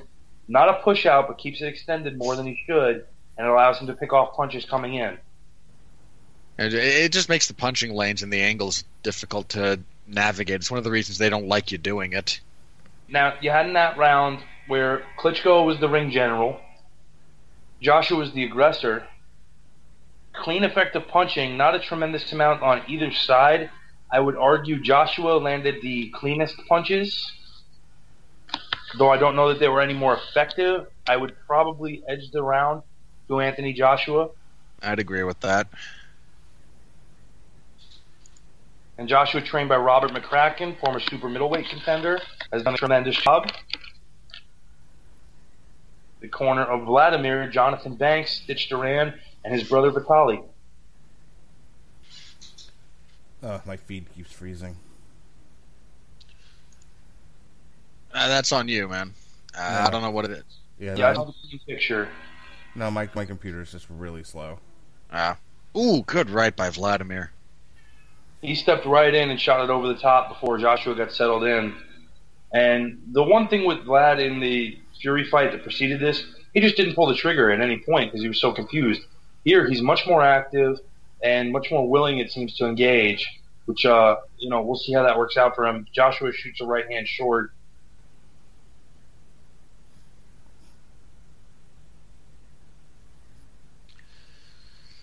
Well, one of the interesting things I think about Vladimir, and I think this is one of the things that Tyson Fury really capitalized on, is uh, Vladimir's timing is. I don't want to say predictable, but he operates on a very kind of consistent rhythm, and disrupting that timing does kind of throw him off a little bit. And it's one of the things Fury did very, very well was just in the moments when Vladimir was you know not expecting a punch, not really thinking about it, it just stuff on the half beat. And yeah, I think mean, that's one of the things uh, Joshua's going to start picking up on as this fight goes on. Yeah, the herky jerky man won a fight between them where neither of them landed more in, than in single digits in any round.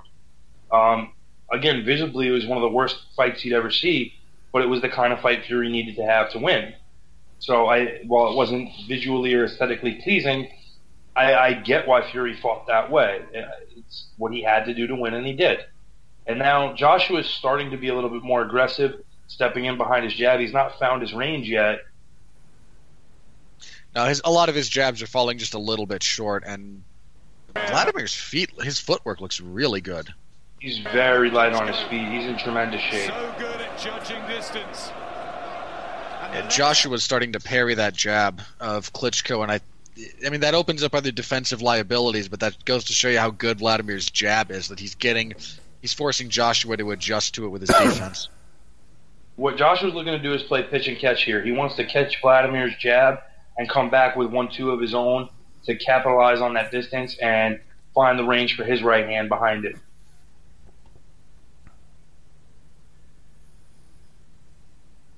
You know, these two sparred back, uh, I believe it was about four years before this fight took place for one of Klitschko's training camps. And Joshua said he felt like that was the best experience he ever had. Probably was.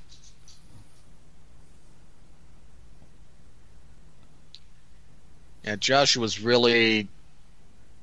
It's weird. Half the time he looks, he, he has a really good sense of where he is in the ring, but then he finds himself in a position like this where Klitschko's ring generalship is causing him problems. Yeah, you're not going to find a lot of guys who are better at taking the lead and cutting and putting a guy where they want them to be than Vladimir, and that's the end of the round. I would argue that Vladimir had a better round there. It was said. Yeah, of, I'd go with that. I, I'd say we're around a piece. it was said of Klitschko in one of the uh, previous fights that I did see that there are some who are boxers and some who are punchers. Klitschko is a classic boxer. Yeah, that's very true. Well, you know, Klitschko came out at the tail end of the amateur program where what you call the European style was still predominantly it, where it was very much one two one two, use your distance, use your reach, one two one two, very seldomly throwing hooks, rarely throwing uppercuts, and rarely, if ever, throwing body punches. Um, the new Eastern Bloc style is very much different than that, as you've seen products like Lomachenko, Golovkin, and Kovalev come out of there, and even now Gvozdyk, who is the new light heavyweight kingpin, another product of that. These guys are very different than that style of fighter. I looked up uh, Lomachenko's gold gold medal winning bouts the other night, just kind of on a lark, and good grief, that man is just so many levels above his opposition in both cases. It wasn't it, they weren't even competitive fights. Now we're seeing a lot. Oh, here we go with. Joshua. Mark, uh, thoughts so far? It's a very technical fight. I mean, you know, this is it. It's funny uh, when I think about what we just saw in the last time we watched the Deontay Wilder fight. What we saw then versus this. I mean, I, I can see why you're so down on Deontay Wilder. Yeah. You mean you have eyes? I'm just, you know, I'm watching these guys do some classic boxing. I mean, they're they're not just winging hooks Um, they're not doing that that slapping that he does. They're actually trying, you know, looking for openings.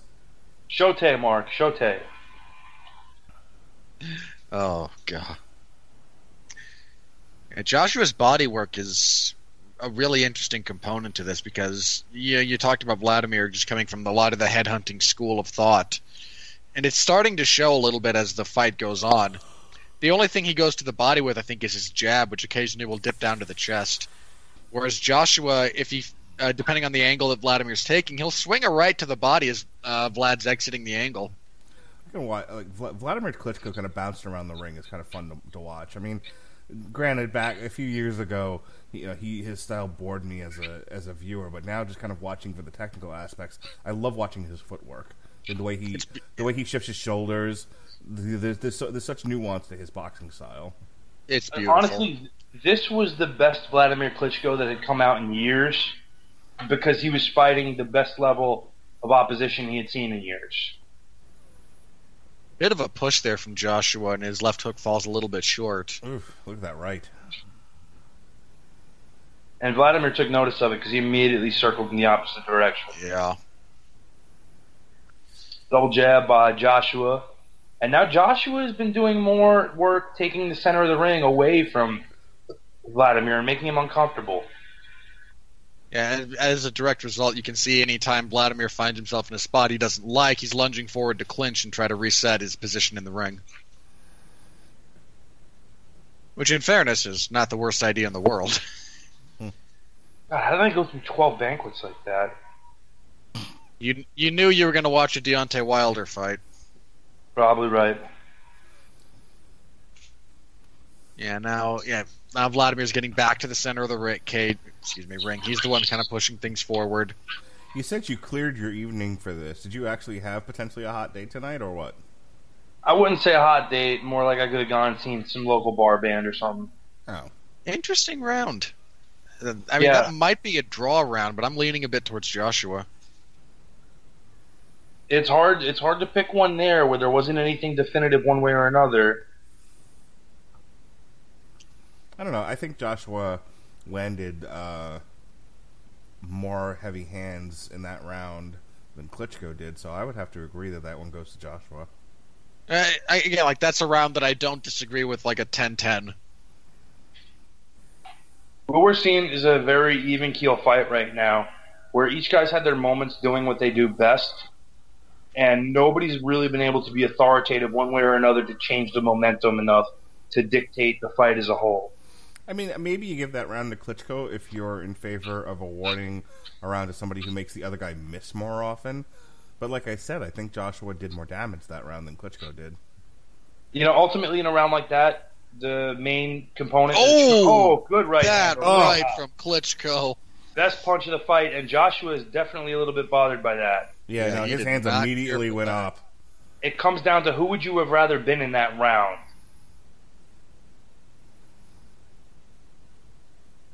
And apparently, jo- uh, Anthony Joshua worked as a bricklayer before boxing. Yeah, well, look at the physique, look at the work ethic. I'm not surprised.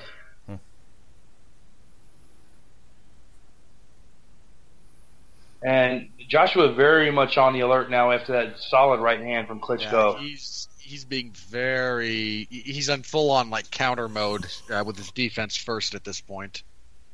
And And there's his right. But Hmm. Klitschko shoulder rolled with that rather nicely actually. Took a lot of the sting out of that. he did while circling in that direction. It was a good defensive move.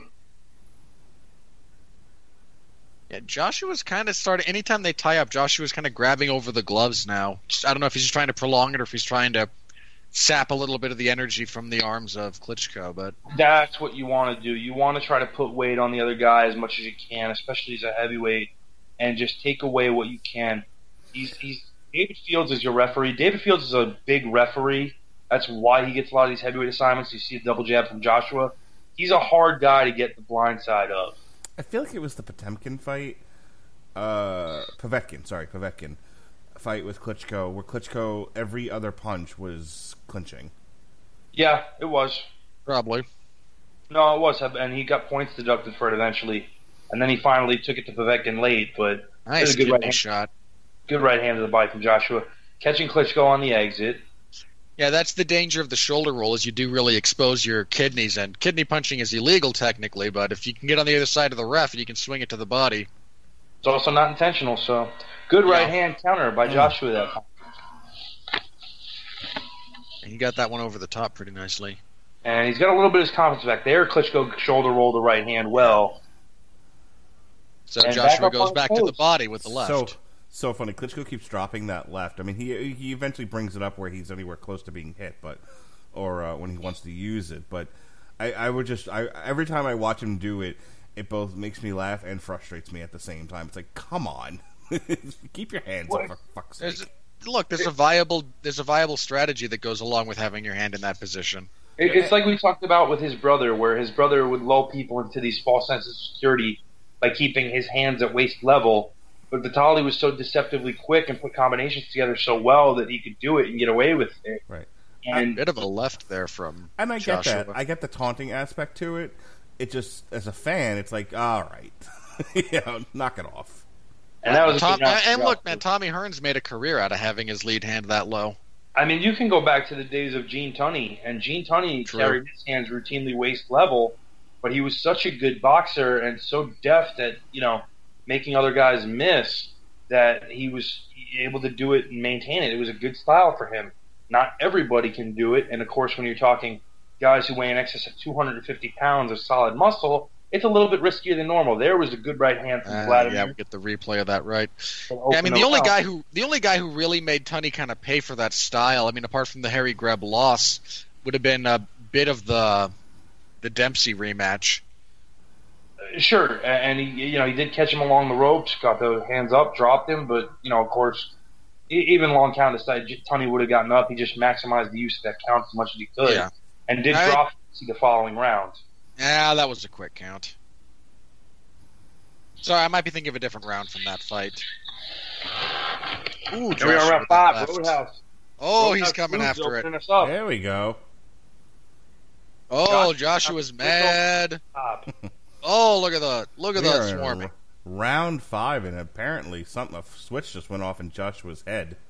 Joshua met Klitschko directly in the Oh, center. that left. take it. Oh, good. Left hook. Seri- Oh, Oh, and down goes Klitschko. Look at Wow. How can you stop that? He was on on a single, bro. Sorry, That was- a bad MMA joke, but that was a Oh. hell of a flurry from Joshua. Strategically started off with both men trying to take the center of the ring. Joshua let his hands go first, scored clean, did not let up on what he saw as an opening, kept that same distance, maximized it, dropped Klitschko. Perfect strategy from Joshua. and there's a left big left hook. hook. and he needs to put it, he needs to keep his foot on the gas. He also needs to cut Klitschko off because Klitschko's really really good at circling uh, and Yeah, using jo- Joshua's ring craft when he's flurrying is not terribly impressive. No, he he- flurries well with the hands, but his footwork in these circumstances is not great. Uh, but like, as I said before, Klitschko is so good at making you miss. him. Ooh, well timed left by Klitschko there. And again, you're talking Klitschko's had more knockouts than Joshua's had rounds. Let's take that into consideration. Joshua clearly a bit hurt by that hook. Good right hand again by Klitschko over the top. Klitschko's gotten him to. oh, that was dirty. Slid Klitschko, into a headlock, not, turned it into a left hook. Klitschko Yep. not above a little bit of dirty boxing, especially when he's you know getting touched. He, at uh, that cut on with Klitschko. Is that under the eye? It is under the eye, and it looks like Vladimir worked a little bit with Jens Pulver for this fight. Love you, Jens. Oh, Good that right left. Oh, yeah, that, Left hand, Klitschko felt that one. Now Klitschko's getting. Oh, the uppercut. Uppercut. He ducked right into it. Oh, Yeah, he Joshua's hurt now. Jo- Joshua has taken a look over a queer street and decided if he wanted to walk down it. And we got another clinch situation. And yeah, Joshua, Joshua's paying for that flurry at the start of the round right about now. Yeah, just his, he's sucking gas tank. He's sucking wind. Uh, look at Vladimir Look at trying to fight admirably in the clinch, something that's never been his strong suit. Yeah. Doing Mhm. uppercut inside. I think he'd be better off working inside than tying up, but it's not, again, it's not something he's worked on extensively and feels comfortable with. Good, good Oh, right look at hand. that. by the way, that uppercut on the inside was nice. That sliced and diced him right up the middle. Yeah. Another, Another. right uppercut. Yeah, Joshua's Joshua's guard is a little bit wide with his elbows, and Klitschko's starting to key in on that and come up the middle with that uppercut. Yeah, I was gonna And he's- again, you're, you're seeing Klitschko score with punches he's not overly adept with. Klitschko's a one-two type of fighter. Now he's landing uppercuts and left hooks. He's out of his wheelhouse, but he's doing well with it. And when he starts doing well with that stuff, you have to worry about that because now he can go back to what he does best. especially because Anthony Joshua's had nothing for those uppercuts. Yeah. I mean, he literally ducked right into one. And tall fighters usually make good use of the uppercut.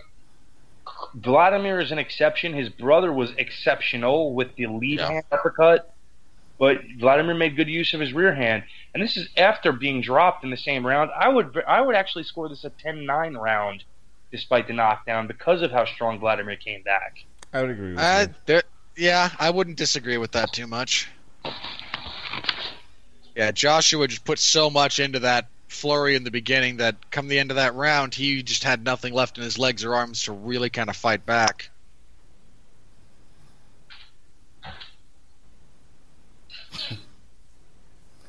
Took a breath there when he got up. I mean, it wasn't like a, like a totally like deep breath, you know, or anything, but kind of you can kind of tell like okay, he's like, oh, I need to make sure I hold on to my win this time. Remember to breathe. Breathe, It's the- stupid, breathe. You forgot to breathe again.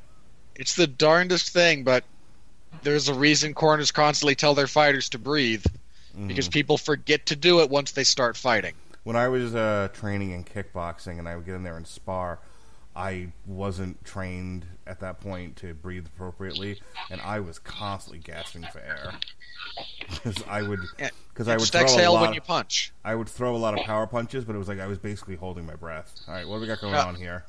Uh, Joshua's Loose tape. mouthpiece fell out. Oh, sorry, mouthpiece. And guys, Well, that's that's part of heard the that reason you.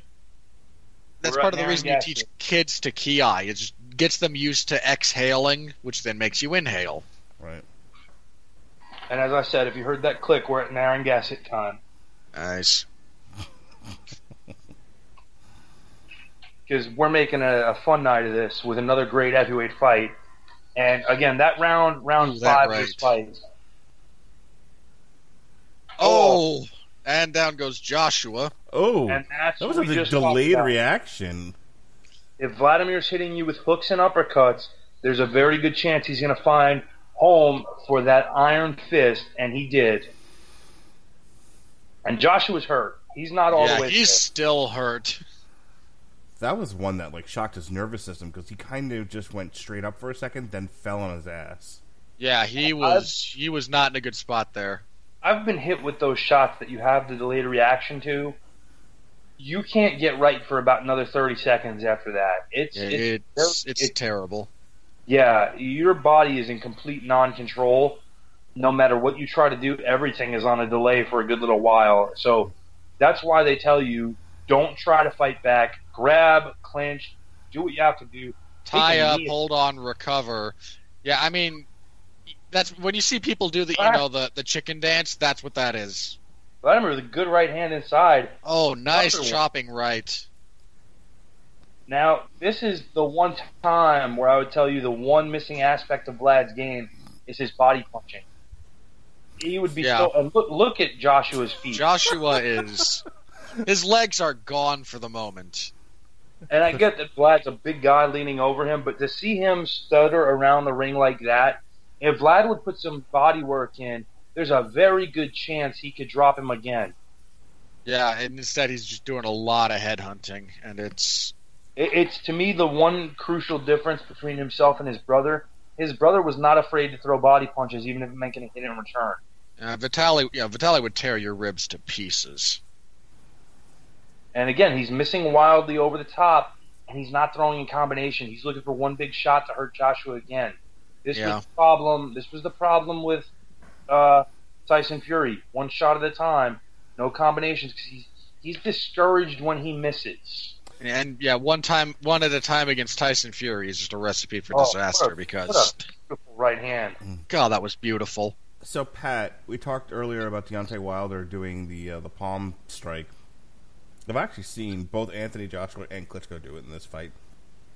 Not like Deontay, not not like Deontay Wilder, who it's like a, it's a, like a constant part of his repertoire. But I've actually seen like a couple of times where maybe he was going for a hook or something, but it ended he ended up hitting with like the palm of the glove. Well, see, in those instances, a lot of times when you want to pull back on a punch because you don't see the opening there that it was, you'll end up kind of turning your fist outward and tapping with the palm or almost slapping like you talked about earlier. It's more a case of them looking for an opening that's not there anymore and trying to stop it. Mm-hmm. Well, You can't once once you commit to that, especially if you're throwing a power shot, very hard to stop it without actually throwing the full shot. Do you try to restrain it and just pull back a little bit on it. But I, I will tell you, it's actually worse to do that than it is just to land the shot on the gloves or the shoulder or what have you. It takes a lot more energy to stop that. All right, on the commentator card, they've got uh, Joshua up by one point over Klitschko, 57-56 here. Well, they went with round they went with a seven. 10-8 round. They went with a 10-8 round five for Joshua rather than the 9-8 that we all kind of seem to agree on. Oh, Uh, and and. Josh and Klitschko clearly had the 10-8 in the sixth. Yeah. So, so for us, I mean, I, I think we all agreed on a 10-9 round in the the knockdown round initially for Joshua when Klitschko roared back. But the 9-8, Klitschko knockdown, the Klitschko knockdown round was more a dominant round for Vladimir, so that would be a 10-8 round on our cards. See, I think we'd have actually a Klitschko up a point or a draw. I, I believe it's a draw on our cards right now. Because thus far we've actually been unanimous on every round, shockingly, and we don't get paid for this, folks. Although I will tell you, my night has been sponsored by uh, Coors Banquet because a hard day deserves an old school hard beer, and uh, Narragansett presents Del's Shandy, the refreshingly different beer sold on merit. You know, Klitschko keeps sneaking in these little like back fist or hammer fist strikes. He's he's always done that with his left hand. He's always done that, and it's it's it's not uncommon among especially heavyweights to do that.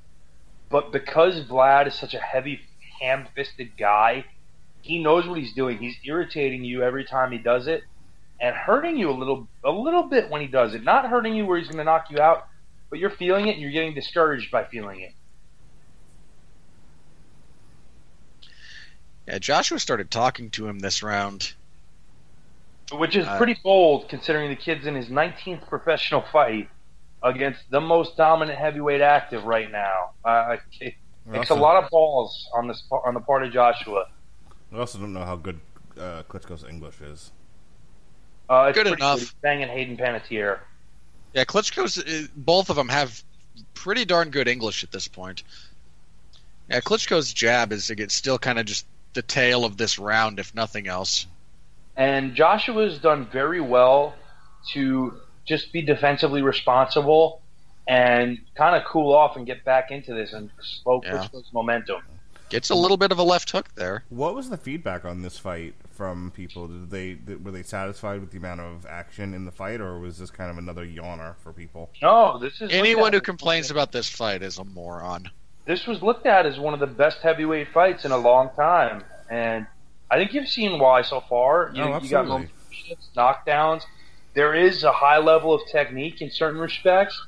With action, it's it's a very satisfying fight on every level so far to me. Yeah, no, I think if you're looking for some classic heavyweight boxing and you know technique and whatnot, I think you would be hard pressed to find another fight better than this hey, one. look, it's Deontay Wilder.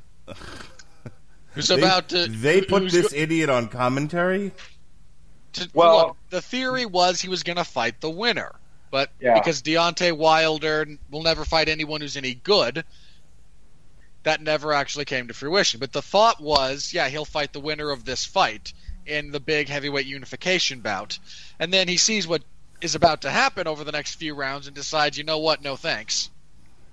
He's basically, I can't beat either of these guys. Well, I should stay away. Clearly, I mean, you couldn't even really beat Tyson Fury, and then he uh, again had to like pay off with some judges for that decision. and, and again, Mark and I did the commentary on that fight. We gave Wilder what three rounds. Yeah, You were generous. it was much later in the fight when Tyson started to slow down. It And was- here we Vladimir opening up. Coming forward, another clinch. Vladimir is 12 and 1 with 7 KOs against unbeaten opposition. The only one would be his loss to Tyson Fury. Bit of a left hook from Joshua there. Yeah, Joshua seems to have caught his second wind here finally. It's a funny thing about getting knocked down and not getting finished immediately after. There's this sense of boldness in you that emerges, and you feel like this guy couldn't pull the trigger and finish me. I can come back and win this. Especially when you've already dropped him. Yeah, Joshua avoids a right hand there, starting to get his jab going again. Nice left And- hook there from Joshua into the clinch. immedi- immediately, Vlad's response is to tie up on the inside. Vlad does not want to fight on the inside, it appears, at this point. No, he. I think Vlad knows his best chances of winning this fight is at distance, especially if he can get really long distance. And he He wants that to be- right hand again. He wants to be all the way out or all the way in. I mean, because any middle distance seems to be Joshua's. I mean, Joshua's punching power is fairly tremendous. I mean, look at the size of that man's shoulders. And remember, he's also six six with like a 77 inch reach. Now Vlad's backing him up again with that jab. Fainting, but Vlad Vlad's not up on his toes like he was. There's No, definitely some wear and tear there. He's flatter for sure. He's all, his left eye also is all messed up. There's a lot of Vaseline hanging off of that. That more than It is Accumulated puffed swelling, damage. though. yeah. I, I'm I'm surprised Joshua hasn't gone back to it more. Quite frankly, because Well, there's a giant target there. Ooh, him, nice right ooh. from Vlad. for him to throw that right hand, he's going to have to put himself in line for Vlad's right hand, and I think at this distance he wants to avoid that. Maybe in close he'll look for it, but Vlad's Yeah. right-handed distance is what got him in trouble in the first place. So he's going to Yeah, be he- respectful of that punch. He's going to look for middle distance engagements more than you know long range. Boy, Joshua's getting a little bit off balance with his jab, putting a lot more weight onto his front leg. He's loading up. He wants to take advantage. He wants to score inside hard with that lead hand and set something up for later. He wants to get that initial shot off on Vlad to get his respect. But now Vlad pushing back with the jab now. Now he's a little more mobile. Now he's a little more up. God, Well, his jab is so good. Look at look at Joshua push forward with his jab, take the center away. That's impressive. Yeah, it's the last last minute statement in that round to go. You know, I'm still here and I'm still I'm not going away. We are moving into round nine, I believe. And Hayden there we see Panettiere Hayden was. Panettiere, who is mar- uh, they were uh, they've they've married since I believe, but at the time they were just engaged. Yeah, she's a sweetheart of a gal too. I've never met her. I couldn't comment. Met her and Vlad together. Tremendous people. I have not seen her in Oh. anything since she was in one of the Scream movies. God, that is a Gross. gnarly cut. Well, I just also got a good look fight- at that Vlad- cut on Klitschko, and that's in a bad spot. It is, but he's got one of the premier cut men in his corner, and That is Stitch. they are doing a good job of not allowing Joshua to exploit it thus far. Yeah. So you put that adrenaline on it, let it kick in, let it do its work, and there's a chance that cut will not play into this. David Fields causing both men to break, and now we'll fight. Klitschko And Vlad coming out out. aggressively this round, and Joshua with some rib roasters there and close. Two Vlad? Club, two clubbing rights starting off this round from Klitschko. Vlad does not look composed. Vlad looks a little bit uh, desperate at this point. Yeah, I I don't know what it is. I don't know if he feels his own cardio going or whatnot, but he looks he's uh, he's antsy. He- I believe in the corner, Vitali said he's not like a man, he's like a piece of iron. Uh, Froch has a 76 to 75 for Klitschko. Uh, I think I think our scores would have Klitschko up another point. Yeah, I could see one point for either guy as being fair, or draw being fair. This has been a pretty even keel fight with a lot of good stuff going on. Vlad Yeah. misses over the top with that right hand. Yeah, you can see Klitschko. I don't know. He's anxious in this round, and Joshua's starting to slip and counter to the body quite well. Oh, good jab inside by Klitschko as Joshua getting in. Right hand over the top. Nice stuff from Klitschko there and close. Joshua tucks one into the body there while they're all clinched up. But Yes. again, I think Vlad doing good work in the clinch, even though he's not comfortable with it. I think it's something he should look to more. He's falling short with his punches at distance. Work in the clinch because you've done well with it. good left Counter left from Joshua, yeah. It just got picked off by the forearm, but it was good. It was a good punch. Caused Vlad to have to reset and back out. And it got him moving. It got him out of the corner. I can see uh, why Deontay Wilder would not want to fight Klitschko. He'd get killed. Oh, good right from Joshua and close. I mean, either of these guys would just run him over. I mean, let's let's be honest.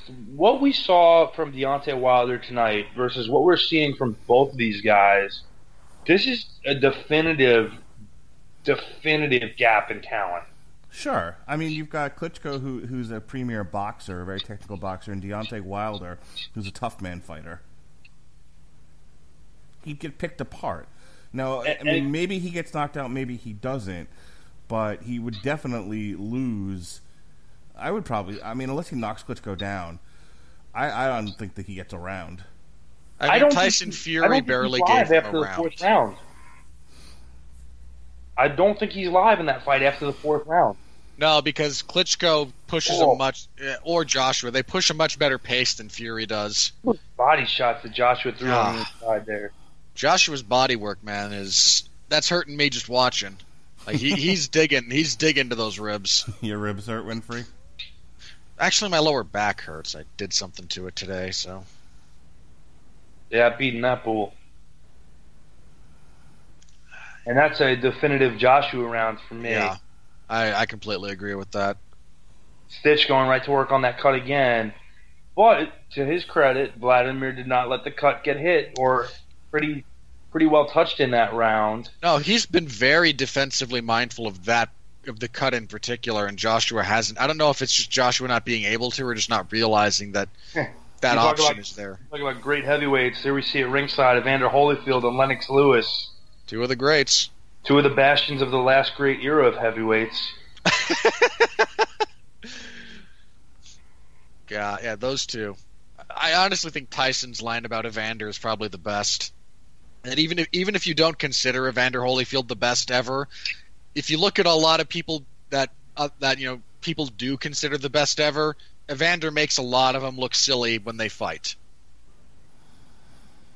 I'm sure Gavin Napier would agree with that, since Gavin Napier worships at the Temple of Holyfield. I don't worship at the Temple of Holyfield, but I think it's a very fair point about Evander and his abilities. All right, we are in round 10 here. Two more rounds from- to go after this. Mark, who are you favoring right now? Uh, Klitschko. Is there Josh- anything? Is there anything you think that Klitschko could be doing that he's not to really seal this fight up? Um, well, I, I agree with you. I think he needs to do a little. I think he needs to be working inside. Uh, I think he needs to. I maybe- left the body. See, when they clinch like that, he's just holding. What he needs to do is he needs to be punching at that time. He needs to Pretty be good counter right you there. in. Yeah, the rule is if you're in a clinch and you have one hand free, you are absolutely allowed to fight with that hand. Right. So there was his right hand right there that he could have been using to put some hooks into the body or you know, even to the head. You know, to kind of touch him, stand back, let let your let your hand go. But he's just holding him. Yeah. It's a pretty. The lack of clinch sophistication was always kind of a big knock on Vit- on uh, Klitschko. And, and Nice again, it's that, jabs. it's that system he came out of that discourages that type of fighting. Well, the amateurs discourage clinching generally, and Yeah, again, his and- style in particular. And on top of that, who he trained with, Emanuel Steward, does not particularly favor his guys to be fighting in that area. Man, those those body shots from Joshua, man, he's swinging that right to the body. He's pretty clearly setting up the right to the head uh, by see- showing that look. I don't see any heavyweight who works to the body the way Anthony Joshua does. Not who's any good. Well, he's back on his toes again. At least he was. And Klitschko Now- going for the guillotine. Now you see Klitschko throwing a, at least something underneath. That's what Yeah. he needed to be doing, like Mark pointed out. Commentary. I think it was somebody on commentary just said, "Yeah, you want to do that when the ref can't see that." I think it was Wilder. You Yeah, Vlad's got his bounce okay. back in his step, but Uh, and he, oh, okay, good he thought about it. But yeah, he thought about a rabbit punch there, and he could have he could have landed a good one. But the ref was right there and would have called him on it. Yeah, the rabbit punches are hard when you're a heavyweight. The kidney shots, the hip shots, not so much. The rabbit punches, yeah, they're gonna see that. Couple of rights there to the body and close from Joshua. Yeah, he's I- I- breaking he's breaking down the posture of Klitschko with those body shots, and It's still pretty good, but, ooh, oh, good that was right. ugly. You see Vlad a lot more hunched over than he usually is, leaning in. Yeah, he's worried about his ribs. Uh, good right from good right from Klitschko there at the end. I'd still kind of give that round to Joshua, actually. I think it's a difficult round to score, and again, for me, it comes down to the the aspect of who would I have rather been in that round, I'd rather that's let's just- go. and I'd have rather been Joshua. But yeah, Uh, that's that, that's a close round. Uh, and that that uh, you know I don't agree with everything or anything Max Kellerman says, but that's the one thing I think he's always gotten right on commentary is that if you get into a round where you have a very hard time, Oh, that four! That was a forearm from Klitschko. The way Joshua leaned into it, that was gnarly. and he caught glove and forearm there. That was Yeah, a that that is an unhappy punch to eat. Oh. But I think the one thing Kellerman has consistently been right about is when you do get into that close round where you have a hard time scoring it, pick who you'd have rather been in that Oh, round. that right oh, from Joshua. Joshua with the right hand over the top, and At Vlad the hurt. left, Vlad is hurt. Left hand, Vlad is Vlad's legs are not there. He not there at all. up. And Joshua stalking him a little bit. Again to the body. Good body work when the guy's hurt. Solid fundamental. That's the difference between Klitschko had Joshua hurt and now. Joshua's willing to go to his body. He's stalking, going down, going up. There's some pretty nice defensive movement there from Klitschko, considering he's still a little wobbled to have his legs still under him like that. He's, he's shuffling with the punches. He's moving his head, moving his upper body, moving his chest. And Joshua now kind of cooling off, letting him off the hook a little bit, or so we think. Vlad is not all the way back yet. He's not attacking, which should let you know that he's not really back in the saddle. That was a That good left hand. hook and Oh close. my god! Look at that. That was a wicked left and close. That was.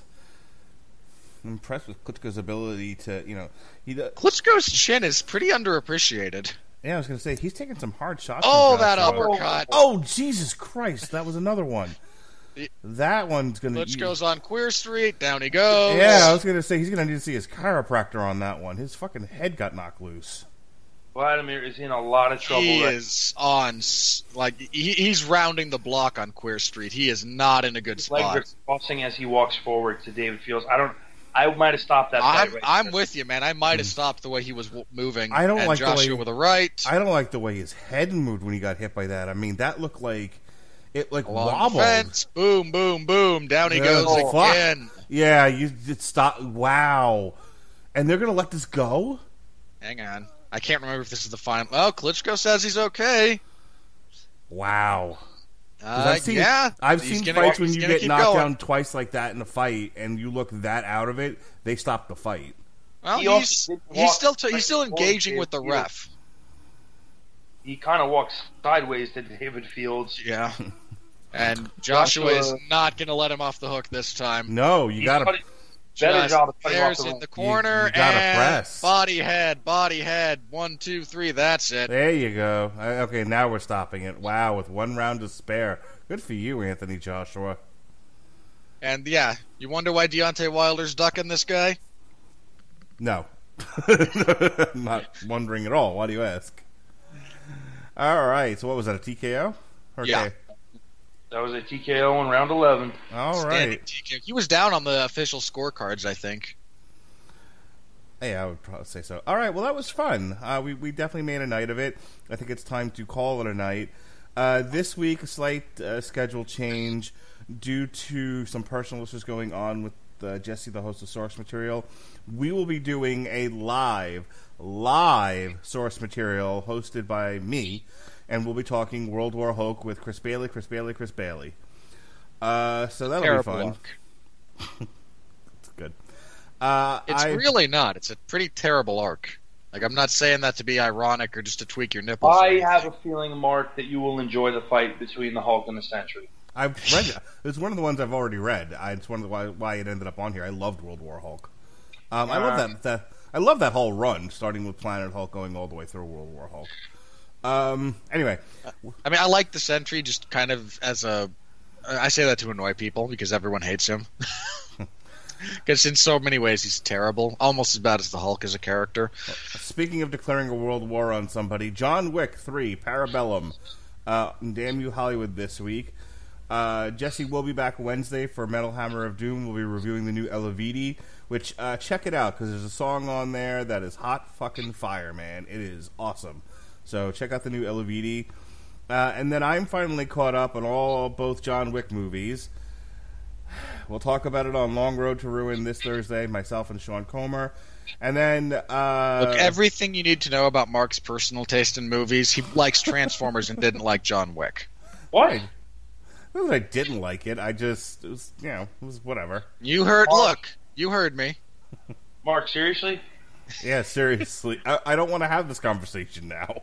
Look, you and I are mm-hmm. going to get into it when it comes on, on Tuesday, and I'm fine with delaying. The, I'm fine with delaying the actual discussion until that point. I just have to put I'm it out there. say, Robert, you speak for all of us. Yeah, no, One there of the few times I will be in the majority position Yeah, when it you comes really to will. talking about there were there were people on my Facebook feed going, "Wait a minute, you don't love John Wick?" And I'm like, "Nah, it's not my thing." And and the people were like, "But but but but, but why?" Well, So- Mark, you had a dog, didn't you? Nobody killed my dog, Pat. Um, That's not the point. Uh, we'll talk about it Tuesday. Um, speaking of, but if you've enjoyed this this show and you enjoy the uh, the work here from the three of us, we'll all be back together again for a TV party tonight on Friday to discuss the Zac Efron and Jim Parsons Ted Bundy movie. Jim Parsons of that wonderful show that has just ended, The Big Bang Theory, which had the perfect finale. Don't bother with Game of Thrones. Watch The Big Bang Theory. You'll ultimately ultimately be more satisfied. Okay, Uh, I'm just listen, gonna, I'm just gonna I'll- put this out there. No, I'm just gonna put this out there. Mark, you've watched The Big Bang Theory. I have not. One of us has cancer. I'm not saying it's the. You all can decide. That's not how causation works, but that's fine. I Uh, also watched Big Bang Theory for a number of years, but I gave up when it was stale and awful and repetitive. And I also do not have cancer, but I do have alcoholism. there you go. Yeah, so you can be Mark or Pat, or you can just have never actually watched the stupid, obnoxious, reprehensibly unfunny cash grab that was The Big Bang Theory, and you can be me. Yeah. Picture of health, apart from I pulled back. So May 25th is AEW Double or Nothing. We will review it the next day, Sunday, Sunday, Sunday, uh, May 26th, and then uh, Jesse Jesse will be hosting the Source Material podcast on the Memorial Day. He'll be ending Marvel Event May with the show with the uh, crossover Blood Ties. Uh, I won't be on that show, but uh, Jesse did a great job with it. Uh, you can hear that show once it airs on Memorial Day, and then we close out "Damn You Hollywood" for May with Aladdin. The new Sworn Enemy will be reviewed on May 29th. And speaking of Game of Thrones, myself and now see, I changed the I changed it so this won't set off the my Amazon Echo anymore. Alexis Hana will be uh, coming on to a TV party tonight to discuss Game of Thrones, and you better believe we'll probably be discussing the stupid petition. Uh, and then June 1st, the day before my birthday, the aforementioned Anthony Joshua versus Andrew Ruiz Jr. Myself and Pat will be providing commentary, and I think so will you. I think we agreed that you'd be done with with your fight from Sweden. Ikea's from Sweden. I like meatballs. My bum is on the Swedish. Swedish. Um, yeah, I believe that. Yeah, that's Gustafsson versus Smith. So you should be done and able to watch that show by then. Uh, in a couple of weeks. Uh, again, I don't know what the start time is for that. They haven't announced it yet. It's one Probably o'clock. It says. I- I was gonna say probably one o'clock p.m. It'll end by like three or four o'clock p.m. Yeah, you'll be fine. Yeah, if it's 1 p.m. Eastern, that's 11 here. So It yeah, I is. should be I'm fine. looking By the at way- it. Okay, IKEA, fine. IKEA frozen yogurt and pretzels, fantastic. Outstanding. All right. How the world was? Oh, never mind. Our sorry, just the UFC. I just looked at the UFC's performance of the night. Their their bonuses for the event tonight, and the fight of the night was Aspen Ladd versus Sijara Eubanks, and wasn't a bad fight, but I don't know. It it just kind of speaks to the the lower quality of this card, and Did, the fact uh, that did Dominic Breazeale get a performance bonus? uh no, it was Aspen. Look, they can't actually disclose the bonus they gave to Dominic Breazeale without opening themselves up to litigation. So By the way, no. is that Nate Diaz that's in John Wick 1? I'd have to rewatch it. I believe it's Nick. No, it's not. Definitely not Nick. No, it's not Nick. Um, hang on. Now I'm looking. You know, you do plugs. I'll look it up. Do your plugs. Plugs. All right, all, all right. Jeez. Plugs. No, it's not Nate Diaz. I'm convinced that guy looked just like Nate Diaz. It is not him. I just looked. No, but uh, Tate Fletcher and I think um, Keith Jardine. Keith Jardine are both in it. Yes. Jardine's one of the guys with a beard. Keanu uh, grabs him by the beard and then slams his face into the table and then shoots him in the body several times. Kevin Yes, he Nash is. is in it. That, that that was a pretty fun uh, thing. And they also have a uh, coffee business together. Yeah, when are they getting married? Uh, as soon as Colorado legalizes that, I assume. Uh, I actually don't know if uh, about either of their sexual orientations. P For the L record. U G P L U G plugs plugs plugs. All right, uh, I just wrapped up before starting this nonsense my coverage of UFC on E ESPN t- plus ten. Um, this is kind of what this is. This is what happens when you book a lot of mismatches on a card. Uh, there were a lot of finishes. A lot of them were decent, but un- but largely unmemorable, unremarkable. Uh, there were a couple of really good ones. Um, Michel Pereira, who is very famous for doing an honest to God lie insult in the middle of an actual fight. this is you think I'm joking. This is not a joke. He knocks the guy down and decides the best thing to do is to jump onto like halfway up the cage, put his hands on the top, and then backflip onto his opponent. Actual was- thing he did. How is that not the best thing to do? I mean, I'm not disagreeing. I'm just saying that's that's not a joke. Like this, he had a pretty memorable uh, debut, knockout with a flying knee and a punch. Um, Vicente Luque had a pretty decent fight. Uh, you know, Rafael dos Anjos won. Um, again, it was it, there was some decent stuff, but in the end of the at the end of the day, it's probably going to wind up as you know what that was pretty good, but I'm not going to remember almost anything from it. So. Uh, then that's it. We're going to review that and then talk about all the major news of the week. And I will continue to complain that Tony Ferguson versus Donald Cerrone is not a five round fight because what is wrong with you? Give those two maniacs five rounds. I mean, I don't, think Tony Ferguson will need all three rounds to get the win, but just the principle. Uh, so we'll talk about all the news of the week, and that's it. Again, the week after that, we will have a preview for Gustafsson versus Smith, which is. I hate this card. I hate this card so so much. There are four light heavyweight fights on this card, and three of them are the top three fights. I didn't know there were eight light heavyweights in the UFC. Yeah, yeah, there are.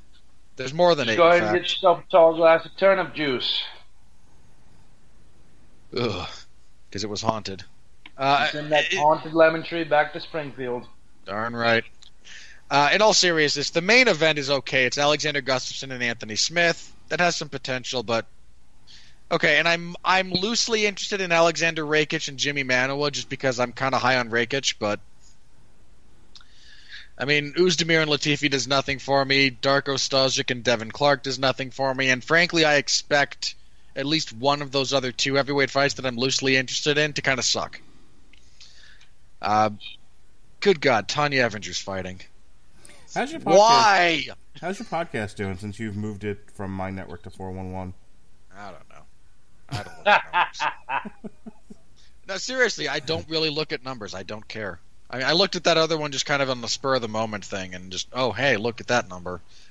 Uh, I don't know, about the same, I think, on the old network as on the new net- network as the old. So Okay. Anyway, we'll have a. Go ahead. Oh, go ahead, Robert. Go ahead. So anyway, that's what we'll be doing. I will be Tuesday hosting Damn You Hollywood, where I will laugh at Mark for being the the plebeian unsophisticate that he is for disliking John Wick. I will also lament the fact that Halle Berry does not get shot in the face by Keanu Reeves, and I don't mean that sexually. I mean I wanted him to kill her. I mean it in both ways. I haven't seen it yet. I'm seeing it tomorrow. I haven't seen it yet either. One of my brothers did, and the only thing I asked was, "Does he actually? Does Halle Berry double cross him and he gets to shoot her in the face?" And he said no, and I went, "Damn." Spoilers. Oh no! Whatever will we do? Yeah, come on. Like anybody listening to this hasn't already, you know, looked at the plot, you know, on Wikipedia. I haven't done that. I just again It's, like a, I, it's a John Wick movie. I'm pretty sure it doesn't have a plot. I'm pretty sure this is our generation's version of Death Wish, and I'm fine with it. yeah, Yeah, I'll go along with I, that. I'll go along with that. Yeah, and I'm completely okay with it. Yeah. I mean, So- I, I I just I love the the action sequences in those movies. It's one of the most pure adaptations of martial arts to and implementing legitimate deadly weaponry that you will ever see. Which I get that's the attraction, and if that's the kind of thing you like, that's great. It's not my thing, as I said. When I when you know when I see somebody killing you know this many people in a movie, I usually like it to be a monster, not a guy. Not He not, is a monster. Did you know Yeah, that?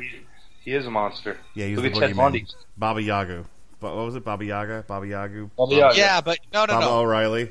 You're not a fa- I'm not a fan of well choreographed action, but God, but I'm going to scream at Robert for 30 minutes. We suggest cutting Stanley Tucci not being able to get rid of a bomb. Yeah. Look at look at how many bodies Ted Bundy was able to get rid of. Just saying. All right, this, we'll we'll deal with this on Tuesday. Right. So uh, moving forward, uh, as you've heard, the three of us will get together again this coming Friday to review the Netflix original film on the aforementioned Ted Bundy. Uh, shockingly evil, violent, extremely wicked. I think that title is a lot of words, too many for my It's, liking. Look, they should have just ha- kept that title, then subtitled it "The True Story of Zac Efron." Yeah, that's about right. So you'll hear the three of us do that, as well as Saturday, June 1st. You will hear Mark and myself. Uh, hopefully, Robert joining us as well after the card from Sweden uh, ends. We're talking Anthony Joshua versus Andy Ruiz Jr. Originally supposed to be Jarrell Miller, unfortunately got hurt and pulled out. So we will get to watch uh, Anthony Joshua defend his belts anyway. Uh, also, uh, yeah, good for Anthony Joshua not just canceling the fight. Uh, since there's going to be uh, some shuffling happening around on the Radolition Broadcasting Network, I'm going to make myself available as needed for whatever shows may come, uh, be it Metal Hammer of Doom, be it Long Road to Ruin, what have you. I will try to uh, keep the network up, keep the ratings up, because that's what I do. Uh, I will be happy to do it. Uh, so if you do uh, want to keep up with what we're doing, you can follow us on Facebook. I will gladly post schedules uh, of what is going on and what will be expected to come in the near future. But as of right now, those are two guaranteed gigs where I will be talking Ted Bundy and I will be talking Anthony Joshua. It will be interesting to see who ends up with the higher body count. All right, folks. Thank you again for joining us on uh, this this damn nope this TV party tonight extra boxing commentary, and uh, we hope to offend you at some point in the future. Have a good night.